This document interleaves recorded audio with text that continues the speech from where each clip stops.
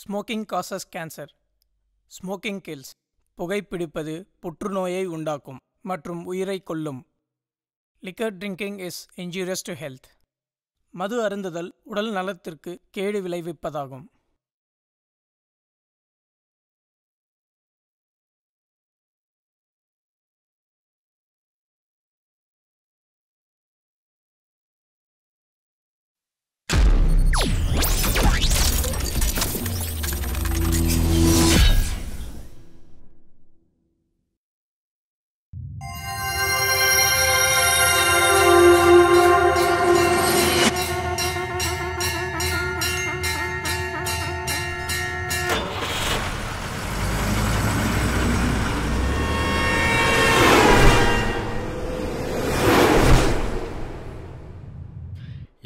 முக்கிய செய்திகள்.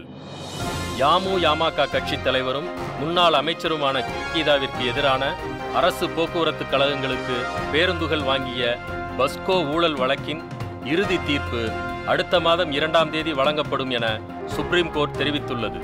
இதனைத் தொடர்ந்து தமிழக அரசியலில் மிக பெரும் மாற்றங்கள் நிகழலாம் என எதிர்பார்க்கப்படுகிறது. எங்க தலைவி தப்பு செய்யல தப்பு செய்யல தப்பு செய்யல. தப்புன்னு அடுத்த வாரம் நிரூபிக்கத்தாக போறாங்க. அடுத்த வாரம் தீர்ப்பு வந்ததுக்கு அப்புறம் பாப்போங்கிற அடுத்த வாரம் சொல்லிருக்காங்க கோர்ட்டு தீர்ப்பு வரட்டும் பாப்போம். இது எவ்வளவு- கோர்ட்டு எப்படி வேணாலும் தீர்ப்பு சொல்லலாம்ல? அப்புறம் தாங்க அந்த பேச்சுக்கு வரணும் நீங்க. அதுக்கு முன்னாடி நீங்க எப்படி சொல்லலாம் நீங்க? அது அடிப்படையில, எப்படி சொல்லலாம்? சிரமத்தோட அடிப்படையில நீங்க பேசுறது. அதெல்லாம் நாங்க ஒத்துக்க முடியாது. பதில் சொல்ல முடியாது. எப்படி சார் நாங்க ஒத்துக்க முடியாது?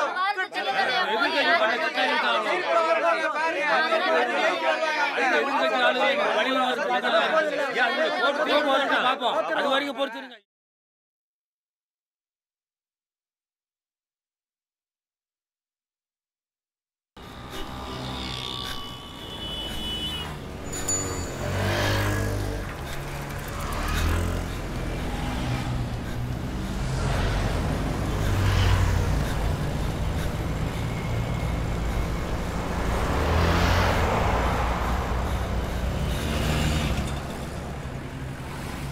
பிரச்சனைலாம் முடிச்சிடலாம் கவலையே படாதீங்க தைரியமா இரு. ஐயா என் வண்டி யாரோ எடுத்துட்டு போயிட்டாங்க ஐயா. ஏய் உள்ள ரைட் இருப்பா போய் கம்ப்ளைண்ட் பண்ணுப்பா சரிங்கய்யா வந்துட்டானுங்க. வண்டியை காணோம் வீலை காணோம். எதிரில் இருக்கிற புக் கடையில் இதை கொண்டு போய் கொடு. காசு கொடுத்தேன்னு வையேன். அவன் கொடுப்பான் வாங்கிட்டு வந்துடு எதுக்குங்க ஐயா? இங்கே வா. நீயே கொடுக்குற கம்ப்ளைண்ட் எழுத வேணாம். அதுக்கு. போ.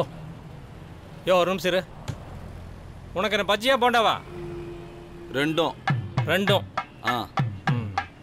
புக் கடை பக்கத்தில் டீ கடை இருக்கும். அங்கே ஆறு டீ சொல்லு.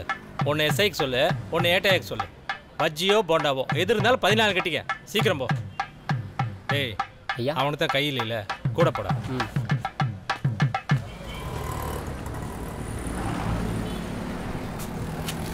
அண்ணா இந்த சீட்டில் இருக்கிறதெல்லாம் கொடுங்க.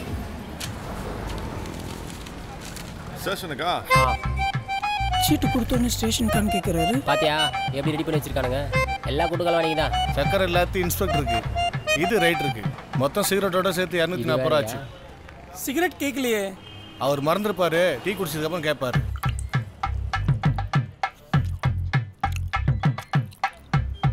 பஜ்ஜியில் உப்பு இல்லை டீயில் தக்காளி அதிகமாக இருக்கு. யோ சிகரெட் சொல்ல மறந்துட்டியா? ஐயா. பரவாயில்லையா? வண்டி காணும்யா என்ன அவசரம்? ஸ்டேஷன் வந்துட்டீல பார்த்துக்கலாம் பஸ் ஸ்டாண்டு பக்கத்தில். புகாரி கடைக்கு போய் அஞ்சு மட்டன் பிரியாணி வாங்கிக்க. யாருக்கும் கேட்காம ஓனருக்கு அதில் மொல்லமாக சொல்லு. ஸ்டேஷன்லேருந்து வந்திருக்கேன்னு. எக்ஸ்ட்ரா பீஸ் வச்சு கொடுப்பான். ஆ? காசு இல்லைங்கய்யா காசு இல்லையா? காசே இல்லையா? இருந்த காசில் தான் ஐயா. நீங்கள் சொன்ன பொருள்லாம் வாங்கிட்டு வந்தேன். சரி சொல்லி தொலையா? என்னத்தையா காணோம்? பஸ்ஸுங்கய்யா இது? பஸ்ஸா. என்ன விளையாடுறியா? விளையாடலாம் இல்லையா பஸ் தான் ஐயா காணும். அடிச்சு பல்ல கழட்டி கையில் கொடுத்துருவேன். ஏதோ சைக்கிள் காணும் பைக்கு காணும்னு சொல்லுவேன்னு பார்த்தா பஸ்ஸாமல பஸ்ஸு? எங்களெல்லாம் கிறுக்கு பையன் நினச்சியா? என் பேர் வெங்கடேசன். ஐங்குளத்தில் சோடா ஃபேக்டரி வச்சுருக்கேன். காஞ்சிபுரத்தில் நிறைய கடைங்களுக்கு சோடா சப்ளை பண்ணிட்டு இருந்தேன். இருக்கேன். பொங்கல் சீசனில் எல்லா கடைக்காரங்களும் சோடா கேட்குறாங்க அடுத்தது உங்களை தான் வந்துடுறேன் ஆ சரி வரேன். ரெண்டு கிரேட்ண்ணா? சரி வெங்கடேஷா. ரெண்டு. நான் வேற. சொல்லு வாய். என் ஃபேக்டரியில் தானே இருக்கீங்க. கடை பையன்ட்ட சோடா சுத்த சொல்லு. வந்துடுறேன் சரியா?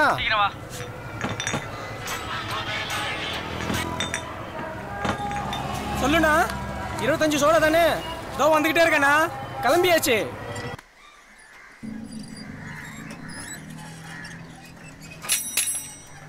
பார்த்துருந்தேன் உங்களை. ரங்கசாமி கோலத்தில் தானே இருக்கீங்க? பைக் கூட வச்சிருக்கீங்களே. பார்த்துக்கண்ணே பார்த்துக்கண்ணே வா ஓய் ஹாப்பி பொங்கல் மச்சான். ஹாப்பி ஹாப்பி வேற என்ன வேலைக்கு போனா கூட காசு? எல்லாம் செய்யாம? வெட்டி பசங்களோட உனக்கடா பேச்சு? இப்போ பாட்டில் கழுவு. போய்கிட்டே பேசலாமாப்ல அதான் பேசிட்டியே. இன்னும் என்ன இருக்கு பேசு. வாய் நீ அந்த பாட்டில் கழுவி வை. நீ அதில் தண்ணி பிடிச்சி வை. ஓய். நான் ஒரு பெரிய எக்ஸ்போர்ட் கம்பெனியில் சூப்பர்வைசரு எனக்கு கீழே முந்நூறு பேர் வேலை செய்கிறாங்க இவன் ஃபோர்டு கம்பெனியில் டிரைவரு பால்ய ஸ்னேக் தானே பொங்கல் லீவில் பார்த்துட்டு போலான்னு தான் பாட்டில் கழுவு சொல்கிறேன் முப்பது சோடா தானேண்ணா? தோ தோ ரோடே பார்த்துட்டு இருந்தா. தோ வந்துட்டேண்ணா. ஒரு கையில் தண்ணி ஊற்றும் போது இன்னொரு கையில் பாட்டில் எடுத்துக்க வேணாம். ஒவ்வொன்றா செய்வியா? வாய். கிரேட் எடுத்து சைக்கிளை வைங்கடா. யாரு? நாங்க. சீக்கிரம் போலாம்டா. இவ்வளோ வெயிட்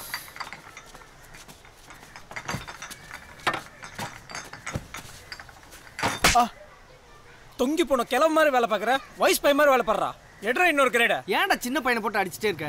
ஒரு முதலாளியா தொழிலாளிகிட்ட எப்படி வேலை வாங்கணும்னு என்ன பார்த்து கற்றுக்க ஃபியூச்சருக்கு யூஸ் ஆகும். பொங்கலுக்கு எல்லாம் ஊருக்கு வந்திருப்பாங்க எல்லாரையும் பார்க்கலான்னு வந்தால் ஒருத்தனை கூட காணோம். வருஷம் வருஷம் வர மாதிரி ஃபீல் பண்ணுறேன் நீயே நாலு வருஷம் கழிச்சில வந்திருக்க. டேய் தனபால் என்னடா பண்ணுறான் சென்னையில் துணி கடையில் ஏதோ சேல்ஸ்மேனாக இருக்கானா அவன் தங்கச்சி சரலா? அவனை கேட்கும் போதே நினச்சேன். அவ்வளோதான் கேட்பேன்னு. செருப்பால் அடிச்சால டேய் அடிக்கலாம் இல்லை செருப்பை தான் காமிச்சா. செருப்பை காமிச்சதுக்கா கண்ணை வீங்கிச்சு? டேய். அவனாச்சும் பரவாயில்ல. உன்னை கிண்டல் பண்ணி அடி வாங்கினான். நீ சாந்தியாக்க குளிக்கிறத பார்க்கணுன்னு மரத்தில் ஏறி கீழே விழுந்து கை உடச்சிக்கணும் தானே? டேய் என் பொண்டாட்டியை எப்போவாச்சும் பார்க்கும்போது இதெல்லாம் சொல்லிடாதீங்கடா. சரி ஓய் சரளாவை பற்றி கேட்டேன் பதிலே சொல்ல. அது பெரிய மேட்ரோய் மேட்ரா டேய் என்ன மேட்ரு சொல்றா. டேய் சொல்றா. இந்த கம்பெனி வண்டிக்கு முன்னாடி போனால் தான் என் சோடாவை வாங்குவாங்க. இல்லைன்னா எல்லா கடையில இவனே சோடா போட்டுருவான். நீங்கள் மணிக்கடைக்கு வந்துருங்க. நான் ரயில்வே ரயில்வே கேட் வழியே வந்துடுறேன். ஓகே சீக்கிரம் வந்துருங்க. மச்சான் சரளா? அது பெரிய மேட்ரோய் அங்கமா சொல்கிறேன்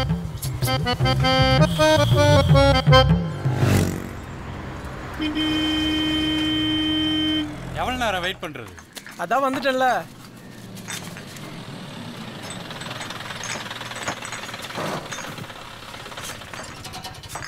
கிளம்பு. சரளா. அதுக்கு என்ன அவசரம்? அப்புறம் சொல்றேன். அது பெரிய மேட்ரோய் பரவாயில்ல இப்போ சொல்லு ஓய். இதோ வந்துட்டேண்ணே. புரியுது. இன்னைக்கு தானே வியாபாரம்? வந்துட்டேன் நான் வந்துட்டேன். வாங்கடா. போகிறான் ஓய் சொல்லுவான். போகிறதுக்குள்ளே கேட்டலாம் ஓய் எல்லா பாட்டிலும் தண்ணி பிடிச்சி வை வந்துக்கிட்டே இருக்கேன். ஏய் சரளா மேட்ரா கேளுடா. கேட்குறேன் இருடா. ஏண்டா வெங்கடேஷா? உன் கூட படித்த நாங்கள்லாம் மேனேஜர் சூப்பர்வைசர்னு வேலை செய்கிறோம் நீ என்னடான்னா ஓட்டர் சைக்கிள் ஓட்டின்னு சோடாவை போட்டுக்கின்னு இப்படி கஷ்டப்பட்டுன்னு இருக்க. காலத்துக்கு தகுந்த மாதிரி மாறிக்கடா.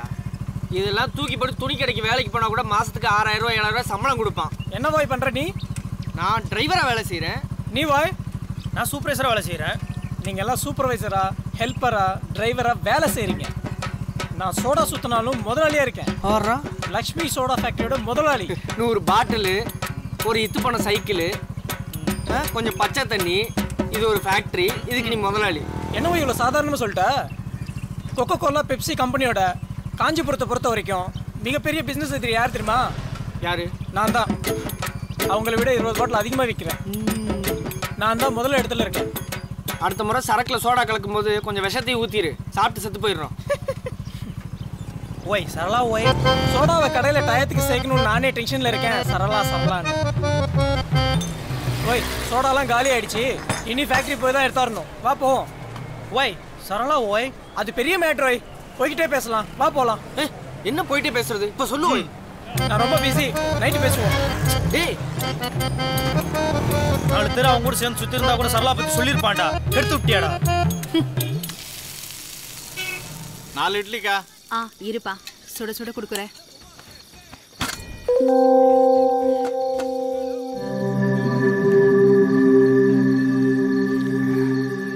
பாரு ஓய். சட்னி. ஓய் பொங்கலுக்கும் இட்லிக்கும் என்ன வித்தியாசம் தெரியுமா ஓய்? தெரியல ஓய். பொங்கலுக்கு லீவ் விடுவாங்க. இட்லிக்கு லீவ் விட மாட்டாங்க ஓய். செம்ம காமெடி ஓய். ஆஃப் பாயில் ஒரு ஆபாயில். ஆ. பெப்பர் தூக்கலா. பெப்பர் கொஞ்சம் தூக்கலாம் சோடா. சோடா. அண்ணா. வாடா ஆ. வா. ஊத்து. ஊத்து.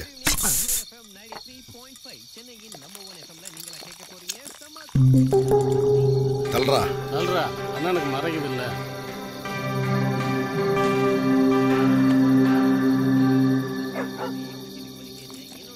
ஊத்துட்டல போ. கவுன்சிலருக்கு தானே? அவங்க செம்ம சரக்கில் இருக்காங்க. நான் போய் தரேன். என்ன இவன் எடுத்துட்டு வரான்? அப்ப ஆப்பாயில் நமக்கு தான் சோடா கொடுக்க வந்தேன்னா உன் வேலையை மட்டும் பாரு. என்ன? போ. இன்னொரு ஆப்பாயில் என்ன ஒரு ஆபாயில். வா வெங்கடேசா. தேங்காய் சட்னி இல்ல கொஞ்சம் அட்ஜஸ்ட் பண்ணிக்கோ. டெய்லி உன் கடல் தான்க்கா சாப்பிட்றேன். எனக்கு எதனா ஆச்சு நீ தான் பொறுப்பு. ஒரு கல்யாணத்தை பண்ணிக்கிட்டா வீட்டு சாப்பாடே கிடைக்குமே. நானா வேணாங்கிறேன். நடக்க மாட்டேங்குது. மாச சம்பளத்துக்கு வேலைக்கு போனா பொண்ணு கொடுக்குறாங்க. என்ன மாதிரி முதலாளிக்கு யார் தராங்க? பேசாம என் பொண்ணை கட்டிக்கோ ஆ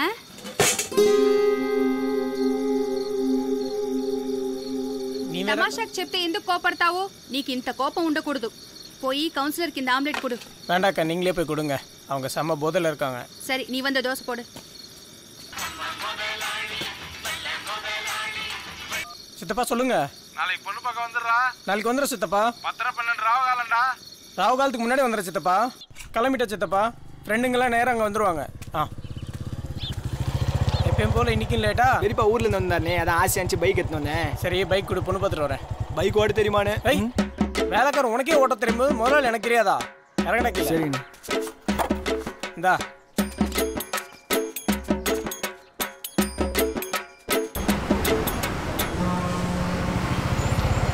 என்னக்கா சைடு பிஸ்னஸாக அரிசி வைக்க ஆரம்பிச்சிட்டியா? நீ வேறப்பா. சரி மாவு கடை பக்கமா போற ஆமாக்கா இந்த மூட்டையை அங்க இறக்கி வச்சிடுறியா லைக்கா வண்டியில ஏறு హలో சொல்லு சித்தப்பா మా ఊపినే ఉండు ఎవరితో అయినా పంపిస్తావా నా పోలే ఎవరితో పంపాలో నాకు తెలీదా నల్ల పయ్యండి పో பயப்படாத சித்தப்பா வந்துடுறேன் வெங்கடேசா பார்த்து கூட்டு போப்பா பயப்படாதக்கா வண்டி நல்லா ஓட்டுவேன் சரிப்பா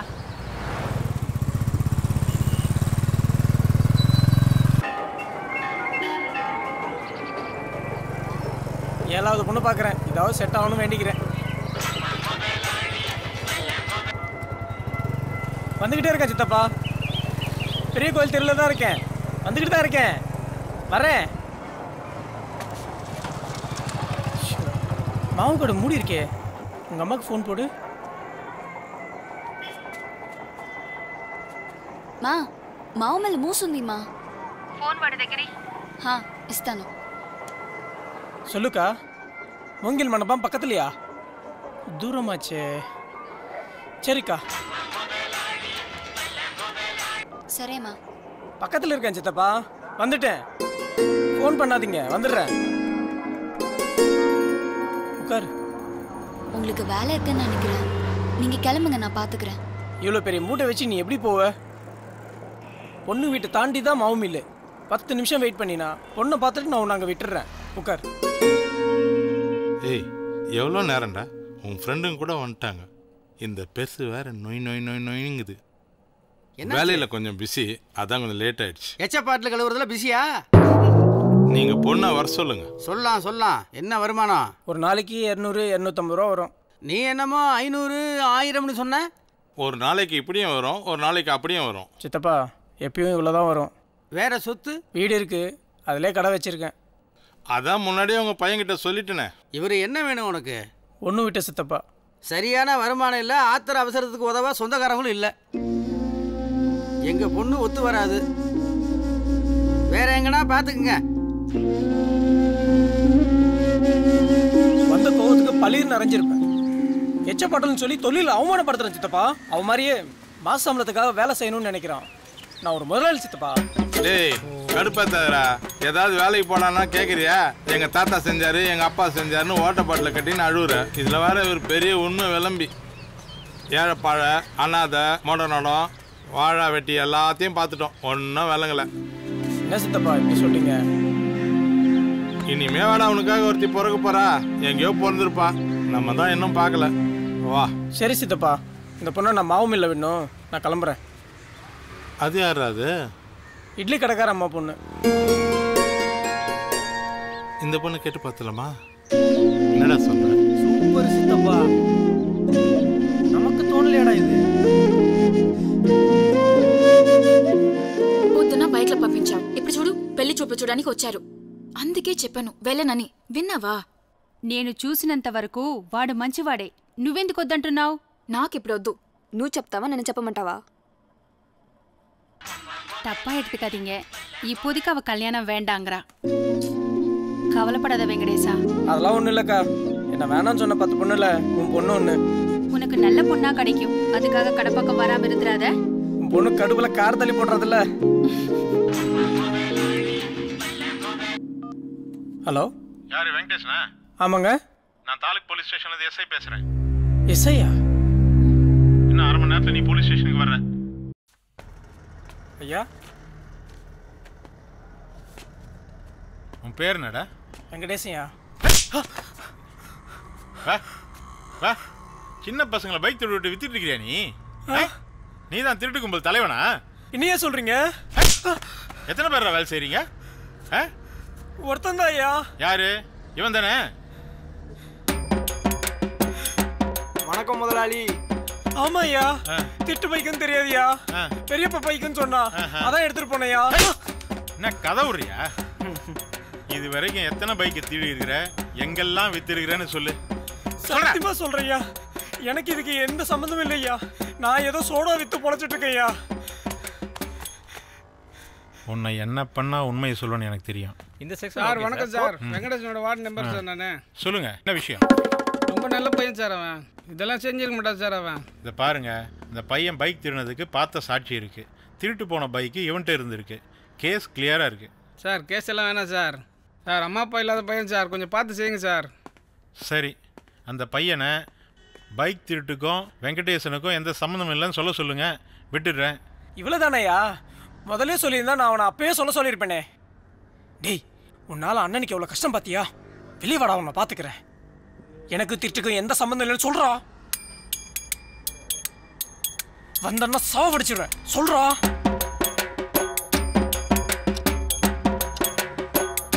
வெறுப்பேத்திரியாடா ஒரு முதலாளியா கேக்குறேன். உனக்கு எனக்கு எந்த சம்பந்தம் இல்லைன்னு சொல்றா. அண்ணனுக்கு நிறைய வேலை இருக்குடா. சொல்றான்னு சொல்றோம்ல ஒழுங்கா சொல்லிடுறா. வணக்கம் சார். வணக்கம் சார். என்ன கேஸ்?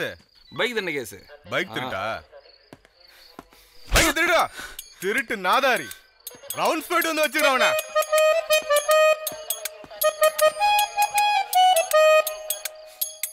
மூர்த்தி ஏன்டா இப்படி பண்ற? உன்னை நான் எவ்வளோ நல்லா பார்த்துக்கிட்டேன். நீ வெளியே வந்தா அண்ணன் உன்னை திரும்பி வேலைக்கு சேர்த்துக்கிறேன். உனக்கு எனக்கு எந்த சம்பந்தமும் இல்லைன்னு சொல்லுப்பா. அண்ணன் உன்னை இனிமே திட்ட மாட்டேன் அடிக்க மாட்டேன் கொஞ்சம் சொல்லிடுப்பா.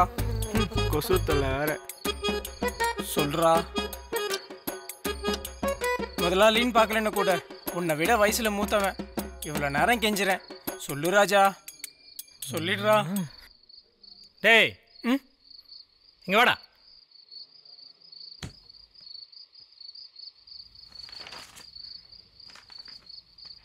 ஐயா. டேய். சத்தம் வந்துச்சே சாவடிச்சிருவேன் வாடா.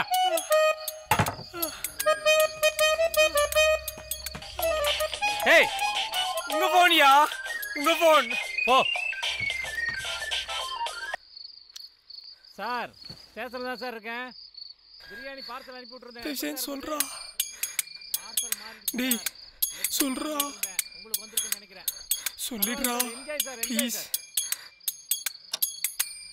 அண்ணா உனக்கு என்ன வேணா பண்ற கண்ணா. டேய் என்னன்னே கேட்காம அடிக்கிறீங்க? என்னையா கேஸ் பைக் தெஃப்ட் கேஸ்யா ஏட்டையா இவன்கிட்ட கையெழுத்து வாங்கிட்டு கோர்ட்டுக்கு கூட்டு போங்க. ஐயா ஒத்துக்க மாட்டேன்யா. ஒத்துக்க மாட்டானா தொண்டையில குத்துனா ஒத்துப்பான்.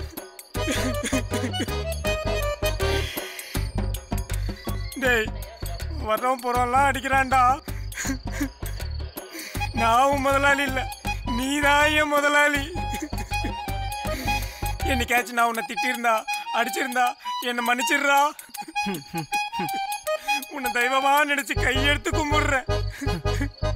சொல்லிடுறா. சார் இவருக்கு அந்த திருட்டுக்கும் எந்த சம்மந்தமும் இல்லை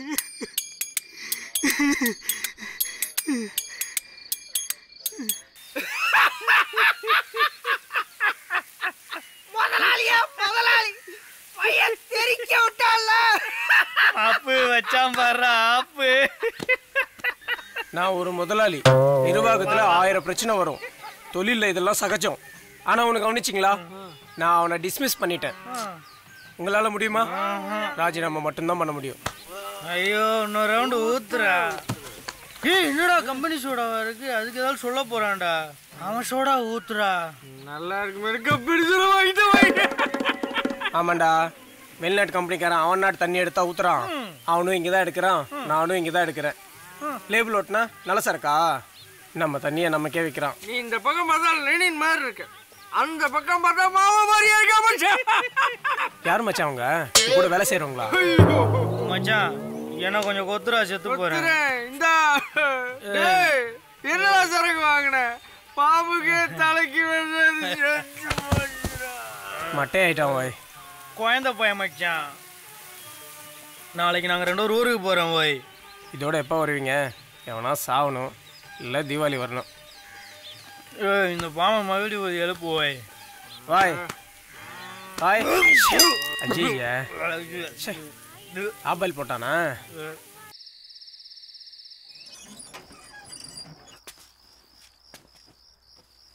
இணையா இட்லி கடை காணோம்? இட்லி கடைக்காரம்மா செத்து போச்சியா? இணையா சொல்ற? விடிய காலில் நெஞ்சு வலின்னு சொல்லிச்சான். அந்த பொண்ணு தண்ணி எடுத்துட்டு வர்றதுக்குள்ள செத்து போச்சான். சொந்தக்காரங்க யாருமே இல்லையா? பதினோரு மணிக்கு தான் புதைச்சாங்க. நம்ம கவுன்சிலர் தான் எல்லா ஏற்பாடையும் பண்ணியிருக்காரு. அக்கௌண்ட் பேலன்ஸ் இருந்தா கொடுத்துறியா? அந்த பொண்ணுக்கு உதவியா இருக்கும். பாவையா அந்த பொண்ணு? அக்கம் பக்கத்துல கூட யாரும் உதவி இல்லை.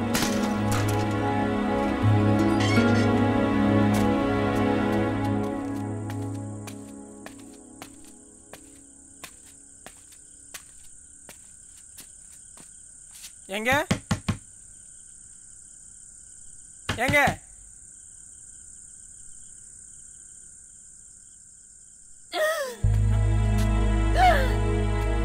எங்க எங்க எங்க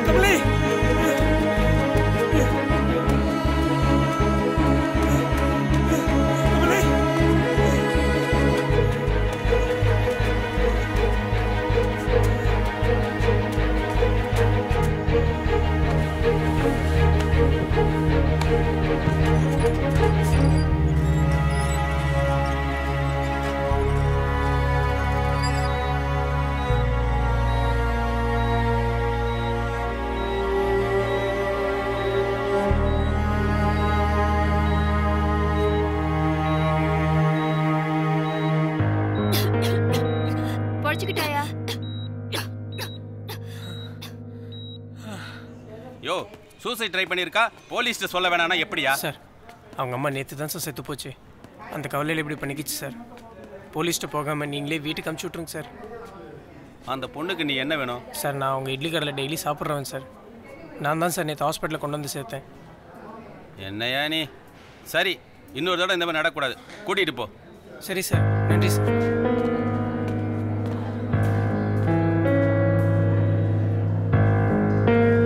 குடிச்ச விஷம் வயிறு புண்ணாக்கிடுச்சான் கரெக்டாக மாத்திரை சாப்பிடு.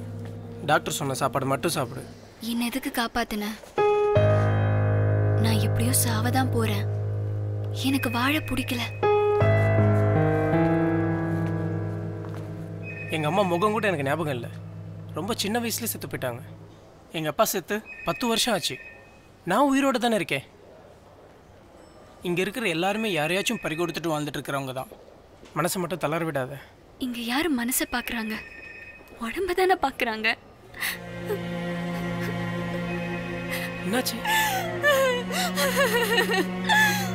வாத்தியாருக்கு சொல்லிட்டேன். பாடகட்டுறவனை வர சொல்லிடு நாலு மாலையை மட்டும் வாங்கிக்க. சுடுகாட்டில் குழி விட்டுறோம்னு சொல்லிட்டியா? சொல்லிட்டேன்.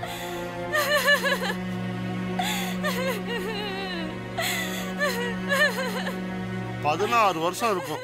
நாலு வயசு குழந்தைய தூக்கிட்டு தனியா இந்த ஊருக்கு வந்துச்சு. அப்பையிலேருந்து இப்ப வரைக்கும் நம்ம வீட்டில் தான் வாடகைக்கு இருந்துச்சு. இப்ப திடீர்னு போயிடுச்சு. நீ எங்கேயும் போக வேணாம். இங்கேயே இருமா. இது உன் வீடு மாதிரிமா நீ வாடகை கூட தர வேணாம். நான் பாத்துக்கிறேம்மா. கவலைப்படாத. நான் இருக்கேன். அழுவாதம்மா.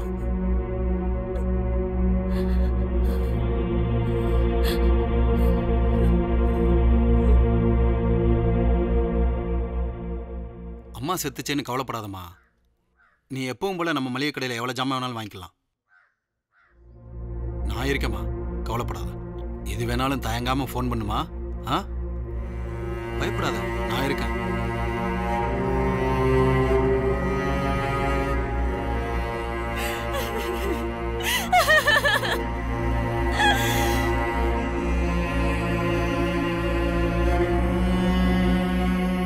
செலவு வீடுன்னு கூட பார்க்காம வர்றவன் போறவன்லாம் உன்னை தொடுறதும் உன் கூட பேசுறதும்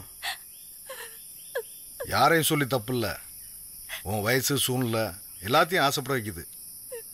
நீ தனியாக இருக்கிற வரைக்கும் இந்த மாதிரி நண்டு நரிலாம் வரத்தான் செய்யும். என்ன மாதிரி ஒரு ஆள் உன் பக்கத்தில் இருந்தா திரும்பி பார்க்கவே பயப்படுவானுங்க.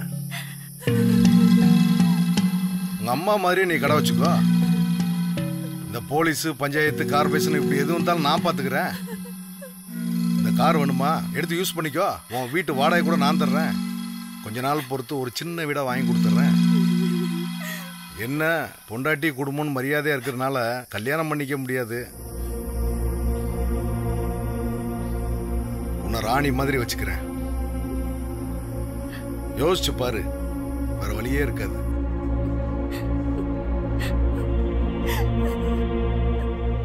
நான் யாரையும் நிமிந்து பார்க்கலன்னா கூட கடைக்கு வர எல்லாருக்கும் என் மேலதான் இருக்கும். இப்ப எங்க அம்மா வேற இல்ல. ரொம்ப பயமா இருக்கு. வீட்டுக்கு போவேனான்னு கூட தெரியல. வழியிலேயே ஏதாவது பண்ணிப்பேன். இது எனக்கு நரகமா இருக்கு. நீ எப்படியும் சாவணும்னு முடிவு பண்ணிட்ட நீ என் கூட வா. என் கடையில் வேலை செய். என்னோடையே இருந்துக்கோ. உனக்கு எந்த பிரச்சனையும் வராது. என்னை நம்பு? நான் உன்னை என் அம்மா மாதிரி பார்த்துக்கிறேன். என்னை எப்போ பிடிக்குதோ அப்போ சொல்லு. நான் உன்னை கல்யாணம் பண்ணிக்கிறேன். வாழ்க்கையை சொர்க்கமாக மாற்றி காட்டுறேன். என்னைக்காச்சும் என்னோட வாழ்றது நரகம்னு தோணுச்சுன்னா நீ செத்துப்போ. நான் உன்னை தடுக்க மாட்டேன். என்னம்மா பிரச்சனை உனக்கு? நான் இல்லை. நீங்கள் தாங்க பிரச்சனையே. போங்க. ஆரஞ்சு பழம்லாம் வாங்கிட்டு வந்திருக்கேன். ஒன்றும் வேணாங்க. போங்க. நான் போய் சைக்கிள் எடுத்துகிட்டு வரேன். ஆப்பிள் சாத்துக்குடிலாம் கூட வாங்கிட்டு வந்திருக்கேன். நீ ஒன்றும் கவலைப்படாதம்மா. பயப்படாத. வாடகை லேட் ஆனாலும் பரவாயில்ல. என் பொண்டாட்டிட்ட நான் பேசிக்கிறேன். யோ. நீ இன்னும் போலியா பழம்லாம் வாங்கிட்டு வந்திருக்கேன். பேசுனா நசிக்கிடுவேன். போயா. வந்து ஏர் லக்ஷ்மி.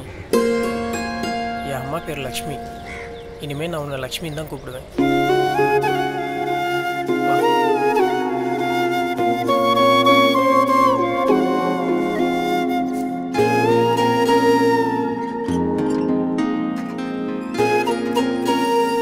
நீ ஒரு ஆளு உனக்கு இவன் வாளா ஆமாடா கூப்பிட்டேன். இப்ப என்ன பண்ணுன்ற?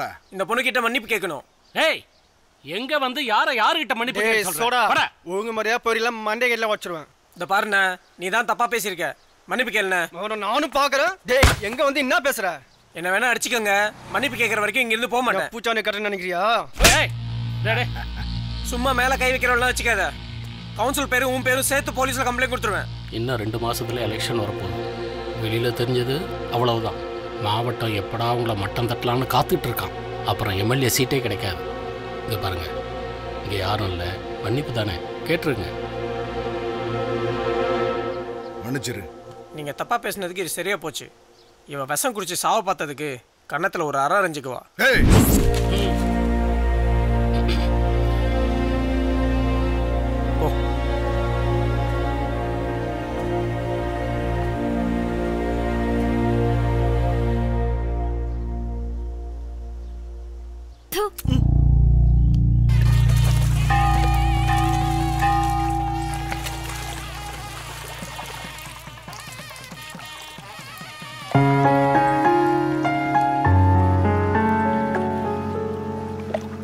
எங்கேயே விட்டுட்டு புது துணி போட்டுக்கோ. இனிமேல் உன் கஷ்டம்லாம் தீர்ந்துருச்சு.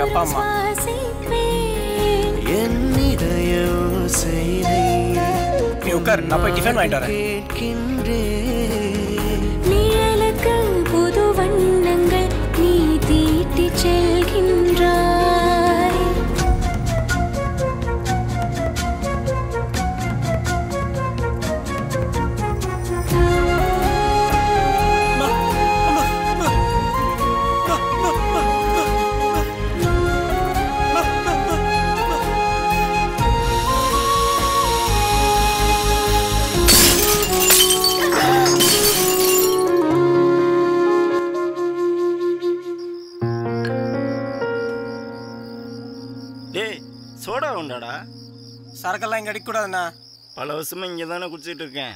இனிமே இங்க சரக்கு அடிக்கக்கூடாது.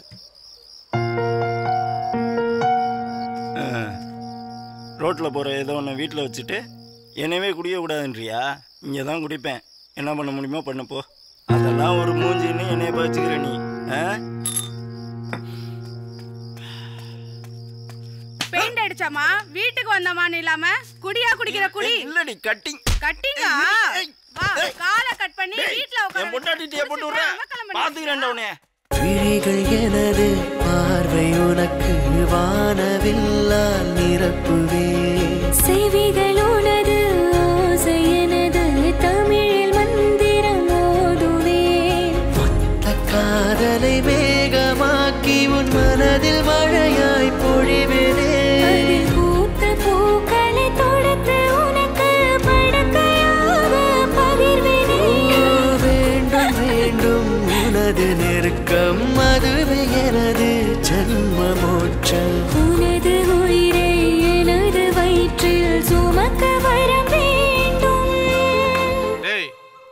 பொண்ணு ஆரணி பொண்ணை பார்க்குறோம் நிச்சயம் பண்ணிட்டு வரோம் இப்போ வேணாமே ஏன்டா வேணான்ற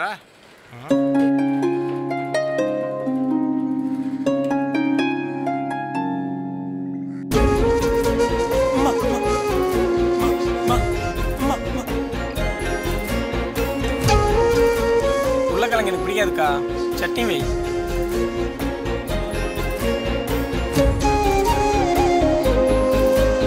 నన్ను పెళ్లి చేసుకుంటావా சோடா பாட்டில் ஒழுங்கா சுத்த சொன்னேன். வெங்கடேஷா என்கிட்ட ஃபைனான்ஸ் வாங்குதல நீ ஒருத்தன் தான் ஒழுங்கா கட்டுற. நீ எப்போ வேணா எவ்வளோ வேணா கேளு. நான் தரேன். சரிண்ணா நன்றிப்பா என்ன வெங்கடேஷா கல்யாணம் பண்ணிக்க போற பொண்ணா? அவனா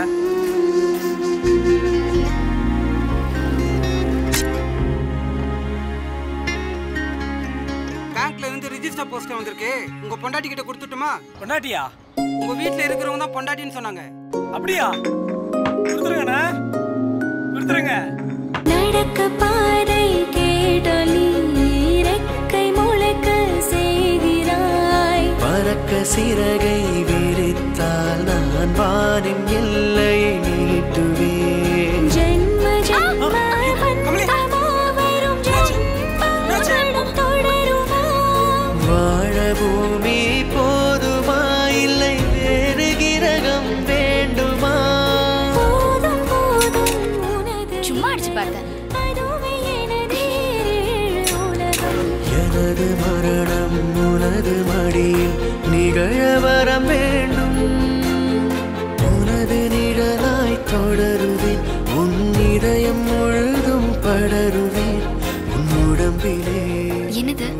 சம்பளம். உயிரில் கலப்பேனோ? அதேதான். எப்படி ஓய் சோடா சாப்பிட்றியா?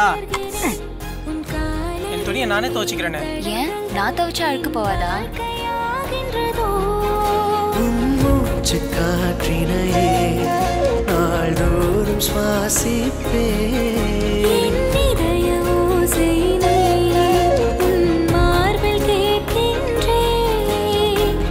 அகத்திலும் என் புறத்திலும் நீ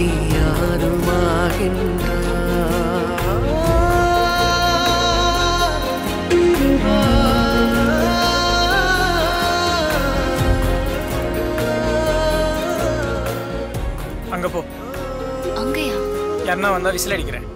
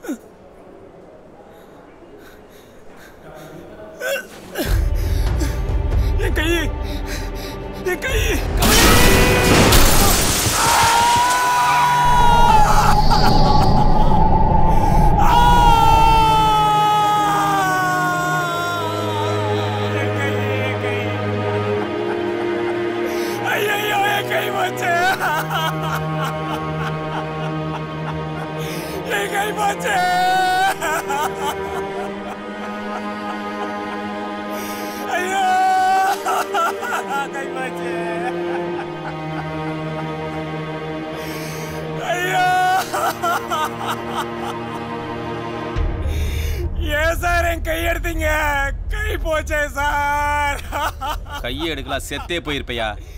இதுக்கு நான் செத்தே போயிருக்கலாம் சார். எப்படியாச்சும் எனக்கு கை வச்சிருங்க சார். என் கை வேணும் சார். வேணும் சார். அழாதையா கொஞ்ச நாளைக்கு கஷ்டமா தான் இருக்கும். அப்புறம் எல்லாம் பழகி போயிடும் என்னால கை இல்லாம இருக்க முடியாது சார். நீங்களே என்ன கொன்னுடுங்க சார். கவலைப்படாதயா என்ன கொண்டுடுங்க சார் கை இருக்க முடியாது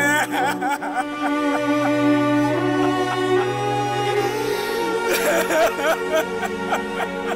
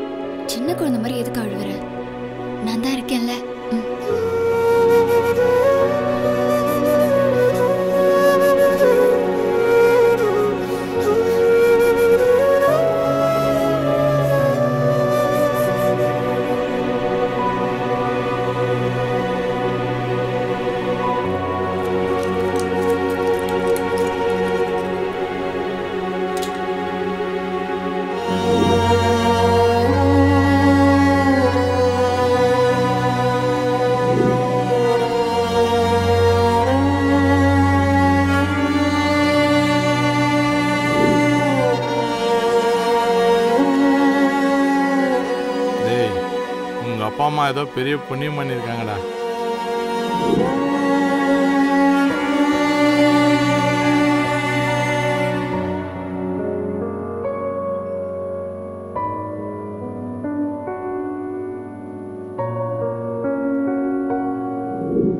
ஆக்சிடென்ட் கேஸ்ல நஷ்டீடு வாங்கி தர வக்கீல் ஒருத்தர் எனக்கு தெரிஞ்சவர் இருக்காரு. வர சொல்றேன். பேசிக்கோங்க. விழுந்தது தான் விழுந்த. தனியார் பஸ்ஸில் விழுந்துடக்கூடாதா சீக்கிரம் பணம் கிடைச்சிருக்கோம். கவர்மெண்ட் வண்டியில் விழுந்துட்டியா? ரொம்ப இழுக்குமே. சரி பத்தோட பதினொன்னா இந்த கேஸ் எடுத்துட்டு போட்டோம். கை போச்சு சைக்கிள் போச்சு சோடா பாட்டெலாம் உடஞ்சி வாழ்வாதாரமே போச்சு. நிறைய பணம்லாம் வாங்கிடலாம் கவலைப்பட வேண்டியதில்லை. எனக்கு எழுபது பர்சன்ட் வக்கீல் ஃபீஸாக கொடுத்துரு. உனக்கு ஒரு லட்ச ரூபா நான் வாங்கி கொடுத்தா எனக்கு எழுபதாயிரம் உனக்கு முப்பதாயிரம். என்ன சரியா? அதுக்கு முன்னாடி ஒரு ரூபா கூட எனக்கு கொடுக்க வேணாம். தம்பி இன்ஸ்பெக்டரே நமக்கு வேண்டப்பட்டவர் தான். அவர் பார்த்து அட்ஜஸ்ட் பண்ணிக்குவாரு. இடையில கேஸ் நடக்கும்போது பணம் தேவைப்பட்டா? வாங்கிக்க. கேஸ் தேய்ச்சி பணம் வந்ததுக்கு அப்புறம் ஆறு வட்டி போட்டு கொடுத்துடணும். ஆறு வட்டியா? ஆனா வக்கீல் ஃபீஸ் வேற. அதுவும் இதுவும் ஒண்ணுன்னு நினைச்சிடாத. இது வேறயா? யாரும் இங்கே ஹாஸ்பிட்டல் ஆக்சிடென்ட் ஆகி அட்மிட் ஆனாலும் எனக்கு உடனே வந்து இன்ஃபார்ம் பண்ணிடுவார் நானும் நிறைய பேருக்கு நஷ்டஈடெல்லாம் வாங்கி கொடுத்துருக்கேன். அது ஒன்றும் பெரிய விஷயம் இல்லை. ஆனால் உன்னை நம்பி அப்பா அம்மா கூட பிறந்தவங்க யாரும் இல்லைன்னு சொல்கிற பெருசாக பணம் உனக்கும் வராது எனக்கும் வராது. பரவாயில்ல வந்த வரைக்கும் வரட்டுமே. கை போயிருந்தா நல்லா இருக்கும் தலை போயிருந்தா நல்லா இருக்கும்னு அவன் அவன் அதிகமாக சம்பாதிக்கத்தான் பார்க்குறான். நமக்கு சேதாரம்னா அவனுங்களுக்கு லாபம். வரவன் என்ன போயிருந்தா நல்லா இருக்கும்னு சொல்ல போகிறான்னு தெரில கவர்மெண்ட் பஸ்ஸுனா இன்சூரன்ஸ் போடாமல் அவன் பாட்டுக்கு இடிச்சிட்டு போயிடுவான். கஷ்டப்படுறது நம்ம தானே. முன்னாடி போயிட்டு இருந்த உன்னை பின்னாடி இருந்து வந்த பஸ் இடிச்சிருச்சு. தப்பு அவங்க மேலே தான் உனக்கு கிடைக்க வேண்டிய நஷ்ட எப்படியும் வாங்கிடலாம். நஷ்ட ஈடு வந்த உடனே மிஷின் ஹேண்ட் வாங்கி வச்சுக்கலாம். உன் ரெகுலர் லைஃபுக்குள்ளே நீ போக முடியும். ஃபீஸ்லாம் இப்போ ஒன்றும் கொடுக்க வேணாம். ஜெயிச்சதுக்கு அப்புறம் பார்த்துக்கலாம் thanks sir.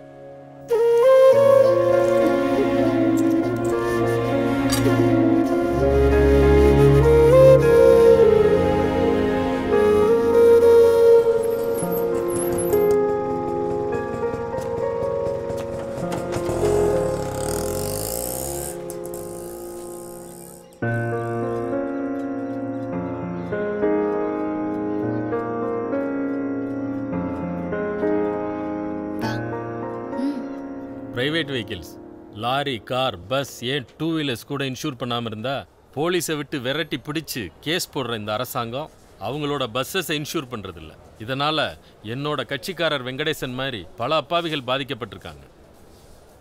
இதுக்கு இந்த கவர்மெண்ட் என்ன சொல்ல போகுது? இது அரசாங்கம் பொதுமக்களுக்கு சேவை நோக்கில் நடத்துகிற போக்குவரத்து கழகம். ஒவ்வொரு பஸ்ஸுக்கும் இன்சூரன்ஸ் கட்டுனா அது டிக்கெட் விலைங்கிற பேரில் பொதுமக்கள் தலையில தான் ஏறும். அப்போ அரசாங்கத்துக்கு நிதி தான் முக்கியம். தனி மனித நீதி முக்கியம் இல்லைல்ல டாஸ்மாகை வச்சு வருமானம் பார்க்குற அரசாங்கம் தானே? அரசாங்க பஸ்ஸில் மக்கள் என்ன ஃப்ரீயாக கூட்டிகிட்டு போகிறீங்க இல்லைன்னா எதுக்கு இங்கே ஊருக்கு ஊர் போராட்டம் பண்ணிட்டு இருக்காங்க? கட்டண உயர்வை எதிர்த்து. காசு வாங்குறீங்கல்ல? வாங்குறோம். ஆனால் தனியார் பேருந்தை விட குறைச்சலான கட்டணம் வாங்குறோம். அதுவும் இல்லாமல் மாணவர்கள் முதியவர்கள் எம்எல்ஏ எம்பி பத்திரிகையாளர்கள் மொழிப்போர் தியாகிகள் புற்றுநோயாளிகள் மாற்றுத்திறனாளிகள் நாடக கிராமிய கலைஞர்கள் இவங்களுக்கெல்லாம் இலவசமாகவும் கட்டண சலுகையும் தரோம். உங்கள் ஸ்டாஃப் ஸ்டாஃபோட ஃபேமிலி முக்கியமாக போலீஸ்காரங்களை விட்டுட்டீங்களே? சட்டப்படி காவல்துறைக்கு அந்த மாதிரியான ஒரு சலுகை கிடையாது. சைடில் வந்து வண்டியில் வாங்கி தின்ட்டு போகிற மாதிரியா? இது வழக்குக்கு சம்பந்தம் இல்லாதது. மேலும் வருமானமே இல்லாத மலை மற்றும் குக்கிராமங்களுக்கு பேருந்து இயக்கப்படுறதுனால நஷ்டத்தில் ஓடுது. ஒரு நாளைக்கு சுமார் இருபத்தி மூணாயிரத்தி எழுபத்தெட்டு பஸ்ஸை இயக்கி இருபத்தஞ்சு கோடி வருமானம் வருது. ஆனால் அதுக்கான செலவு முப்பத்தி நாலு கோடி. ஆக மொத்தம் அரசாங்கத்துக்கு ஒரு நாளைக்கு ஒன்பது கோடி. ஒரு வருஷத்துக்கு மூவாயிரத்தி இரநூத்தி எண்பத்தஞ்சு கோடி நஷ்டம். வர்ற வருமானத்தில் பாதிக்கு மேலே அதாவது ஐம்பத்தி ஒன்று புள்ளி நாலு சதவீதத்தை அதில் வேலை பார்க்குற ஒரு லட்சத்தி நாற்பத்தி மூவாயிரம் பேர் சம்பளமாகவே எடுத்துக்கிறீங்க. இப்போ நஷ்டம் வந்துருச்சுன்னா சம்பளத்தை வாங்காம விட்டுருவீங்களா? எந்த தனியார் முதலாளியாவது இவ்வளவு சம்பளம் கொடுப்பாங்களா? இப்ப நஷ்டத்துல ஓடுதுன்னு சொல்ற இதே அரசாங்க பேருந்து தானே ஒரு காலத்துல இந்தியாவிலேயே அதிகமான லாபத்தை கொடுத்துருக்கு. இந்த நஷ்டத்துக்கு காரணம் உங்களோட நிர்வாக திறமையின்மை போஸ்டிங்ஸ்ல அரசியல்வாதிகளோட தலையீடு டயர்ல இருந்து நட்டு போல்ட்டுன்னு சில அதிகாரிகள் பண்ற ஊழல். இந்த டிரைவரும் கண்டக்டரும் பிரைவேட் பஸ்ஸை முன்னாடி போய் விட்டுருவாங்க. அவன் எல்லா டிக்கெட்டையும் ஏற்றிட்டு போயிடுவான். இவங்க பின்னாடி போய் அந்த தனியார் பஸ் ஓனர்கிட்ட கமிஷன் வாங்கிட்டு போயிடுறாங்க. இப்படி எல்லா விதத்துலையும் நஷ்டத்துக்கு நீங்க காரணமா இருப்பீங்க. ஆனா பாதிக்கப்பட்டவங்களுக்கு பணம் வர்றதுக்காக இன்சூரன்ஸ் செய்ய மாட்டீங்க. பாதிக்கப்பட்டவங்களுக்கு பணம் தரமாட்டோம்னு சொல்லலையே. இன்சூரன்ஸ் போடாம நாங்களே நஷ்டஈடு தந்துட்டு தான் இருக்கோம். இது வரைக்கும் எத்தனை பேருக்கு சார் முழுசா நஷ்டஈடு வாங்கி கொடுத்துருக்கீங்க? இந்த கேஸை பொறுத்த வரைக்கும் ஸ்டீரிங் கட்டானதுனால தான் விபத்து ஏற்பட்டிருக்கு. அதனால யாரையும் தப்பு சொல்ல முடியாது. இங்க ஓடுற இருபத்தி மூணாயிரத்தி எழுபத்தி எட்டு பஸ்ல ஓடுறதுக்கே தகுதி இல்லாத இருபதாயிரம் பஸ் ஆயுள் காலம் முடிஞ்சு இன்னமும் ஓடிக்கிட்டு இருக்கு. மழை பெஞ்சா பஸ்ஸுக்குள்ளேயே கொடை பிடிக்கிறதையும் அங்கே இங்கே கம்பி நீட்டிட்டு இருக்கிறதையும் சேர் உடஞ்சி பஸ்ஸுக்குள்ளேயே கீழே விழுகிறதையும் நாம பார்த்துக்கிட்டு தானே இருக்கோம்? இதெல்லாம் நிர்வாக சீர்கேடு தானே? பஸ்ஸு டிரைவரோட கட்டுப்பாடை மீறி போனதுனால தான் இந்த ஆக்சிடென்ட்னு சொல்லி போலீஸ் கொடுத்த சர்டிஃபிகேட்டை நான் சப்மிட் பண்ணியிருக்கேன். ஒரு உழைப்பாளியோட கையிழப்பு உயிரிழப்பிற்கு சமம். இரண்டு கைகளையும் இழந்த எனது கட்சிக்காரருக்கு உரிய இழப்பீடாக இருபது லட்சம் ரூபாய் தரும்படி கேட்டுக்கொள்கிறேன். இந்த விபத்து பற்றிய ஆர்டிஓ மற்றும் பேருந்து கழக அறிக்கை இன்னும் வரல. அதனால இந்த வழக்கை ஒத்திவைக்குமாறு கேட்டுக்கொள்கிறேன். வரும் அக்டோபர் இருபத்தி ஒன்பது இரண்டு மாத காலங்களுக்கு இந்த வழக்கை ஒத்திவைக்கிறேன்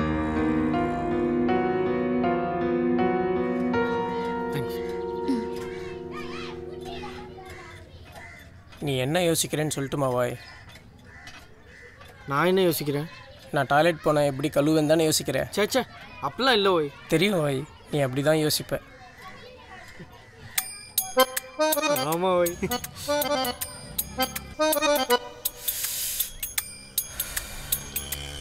கொலா தெரியுதா?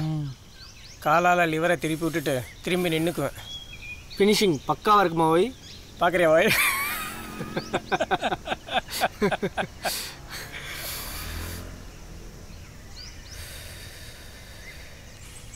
கோர்ட்டில் கேஸ் ஜெயிச்சு பணம் வந்துடும் வை. மிஷின் கை வச்சுக்குவேன்.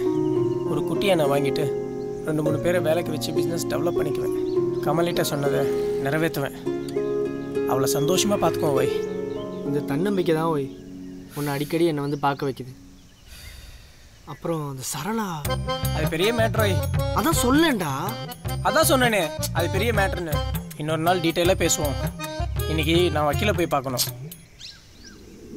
இந்த கேஸை டீல் பண்ணுற பேனல் அட்வொகேட்டுக்கு இன்னைக்கு டிஸ்ட்ரிக்ட் கோர்ட்டில் ஹியரிங் இருக்கிறதுனால இங்கே வர முடியல. அதனால் இந்த கேஸை ஒத்தி வைக்கும்படி கேட்டுக்கொள்கிறேன். இருபத்தி ஏழு ஒன்று மூன்று மாதங்களுக்கு இந்த வழக்கை ஒத்திவைக்கிறேன் தேங்க்யூ மேடம் இருபத்தி ஏழு ஒன்று.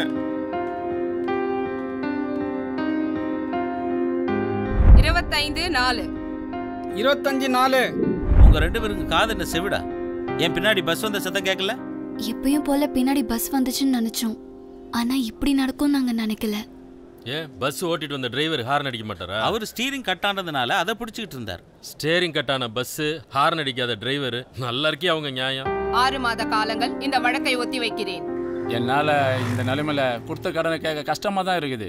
இதுக்கு மேலே நீ இந்த சோடா பாட்டில் எடுத்துன்னு ஊர் ஊராக சுற்றி தொழில் பண்ணுவேன்னு எனக்கு தோணலை. இருக்கிற பொருள்லாம் குத்தியனா நான் விற்று பணம் வாய்க்கினு என் பணத்தை எடுத்துன்னு மிச்சம் இருந்தால் உனக்கு தரேன். கொஞ்சம் பொறுண்ணா. நஷ்டேடு காசு வந்துடும் திரும்பி தொழில் செஞ்சு உங்கள் கடன் அடைச்சிடுறேண்ணா. கோர்ட்டு கேஸு இதெல்லாம் முடிஞ்சு கவர்மெண்ட்டில் பணம் வருது. இதெல்லாம் நடக்கிற காரியமாப்பா. வந்துரும்ண்ணா. நாய் என்ன தேய்ச்சிக்கிச்சான்? சீக்கா இல்லைன்னு செருப்பால் வச்சுக்கிச்சான் உனக்கு சோறு இல்லை. இதில் இன்னொன்று இப்படிலாம் பேசாதண்ணா. அடுத்த வாரம் வருவேன். நீ தண்டல் பணத்தை கட்டலைன்னா சோடா மிஷினை எடுத்துன்னு போயிடுவேன். இல்லையா? அந்த பொண்ணை என் வீட்டு வேலைக்கு அனுப்பிவிடு வேலை செய்யட்டான் பணத்தை நான் கழிச்சுக்கிறேன்.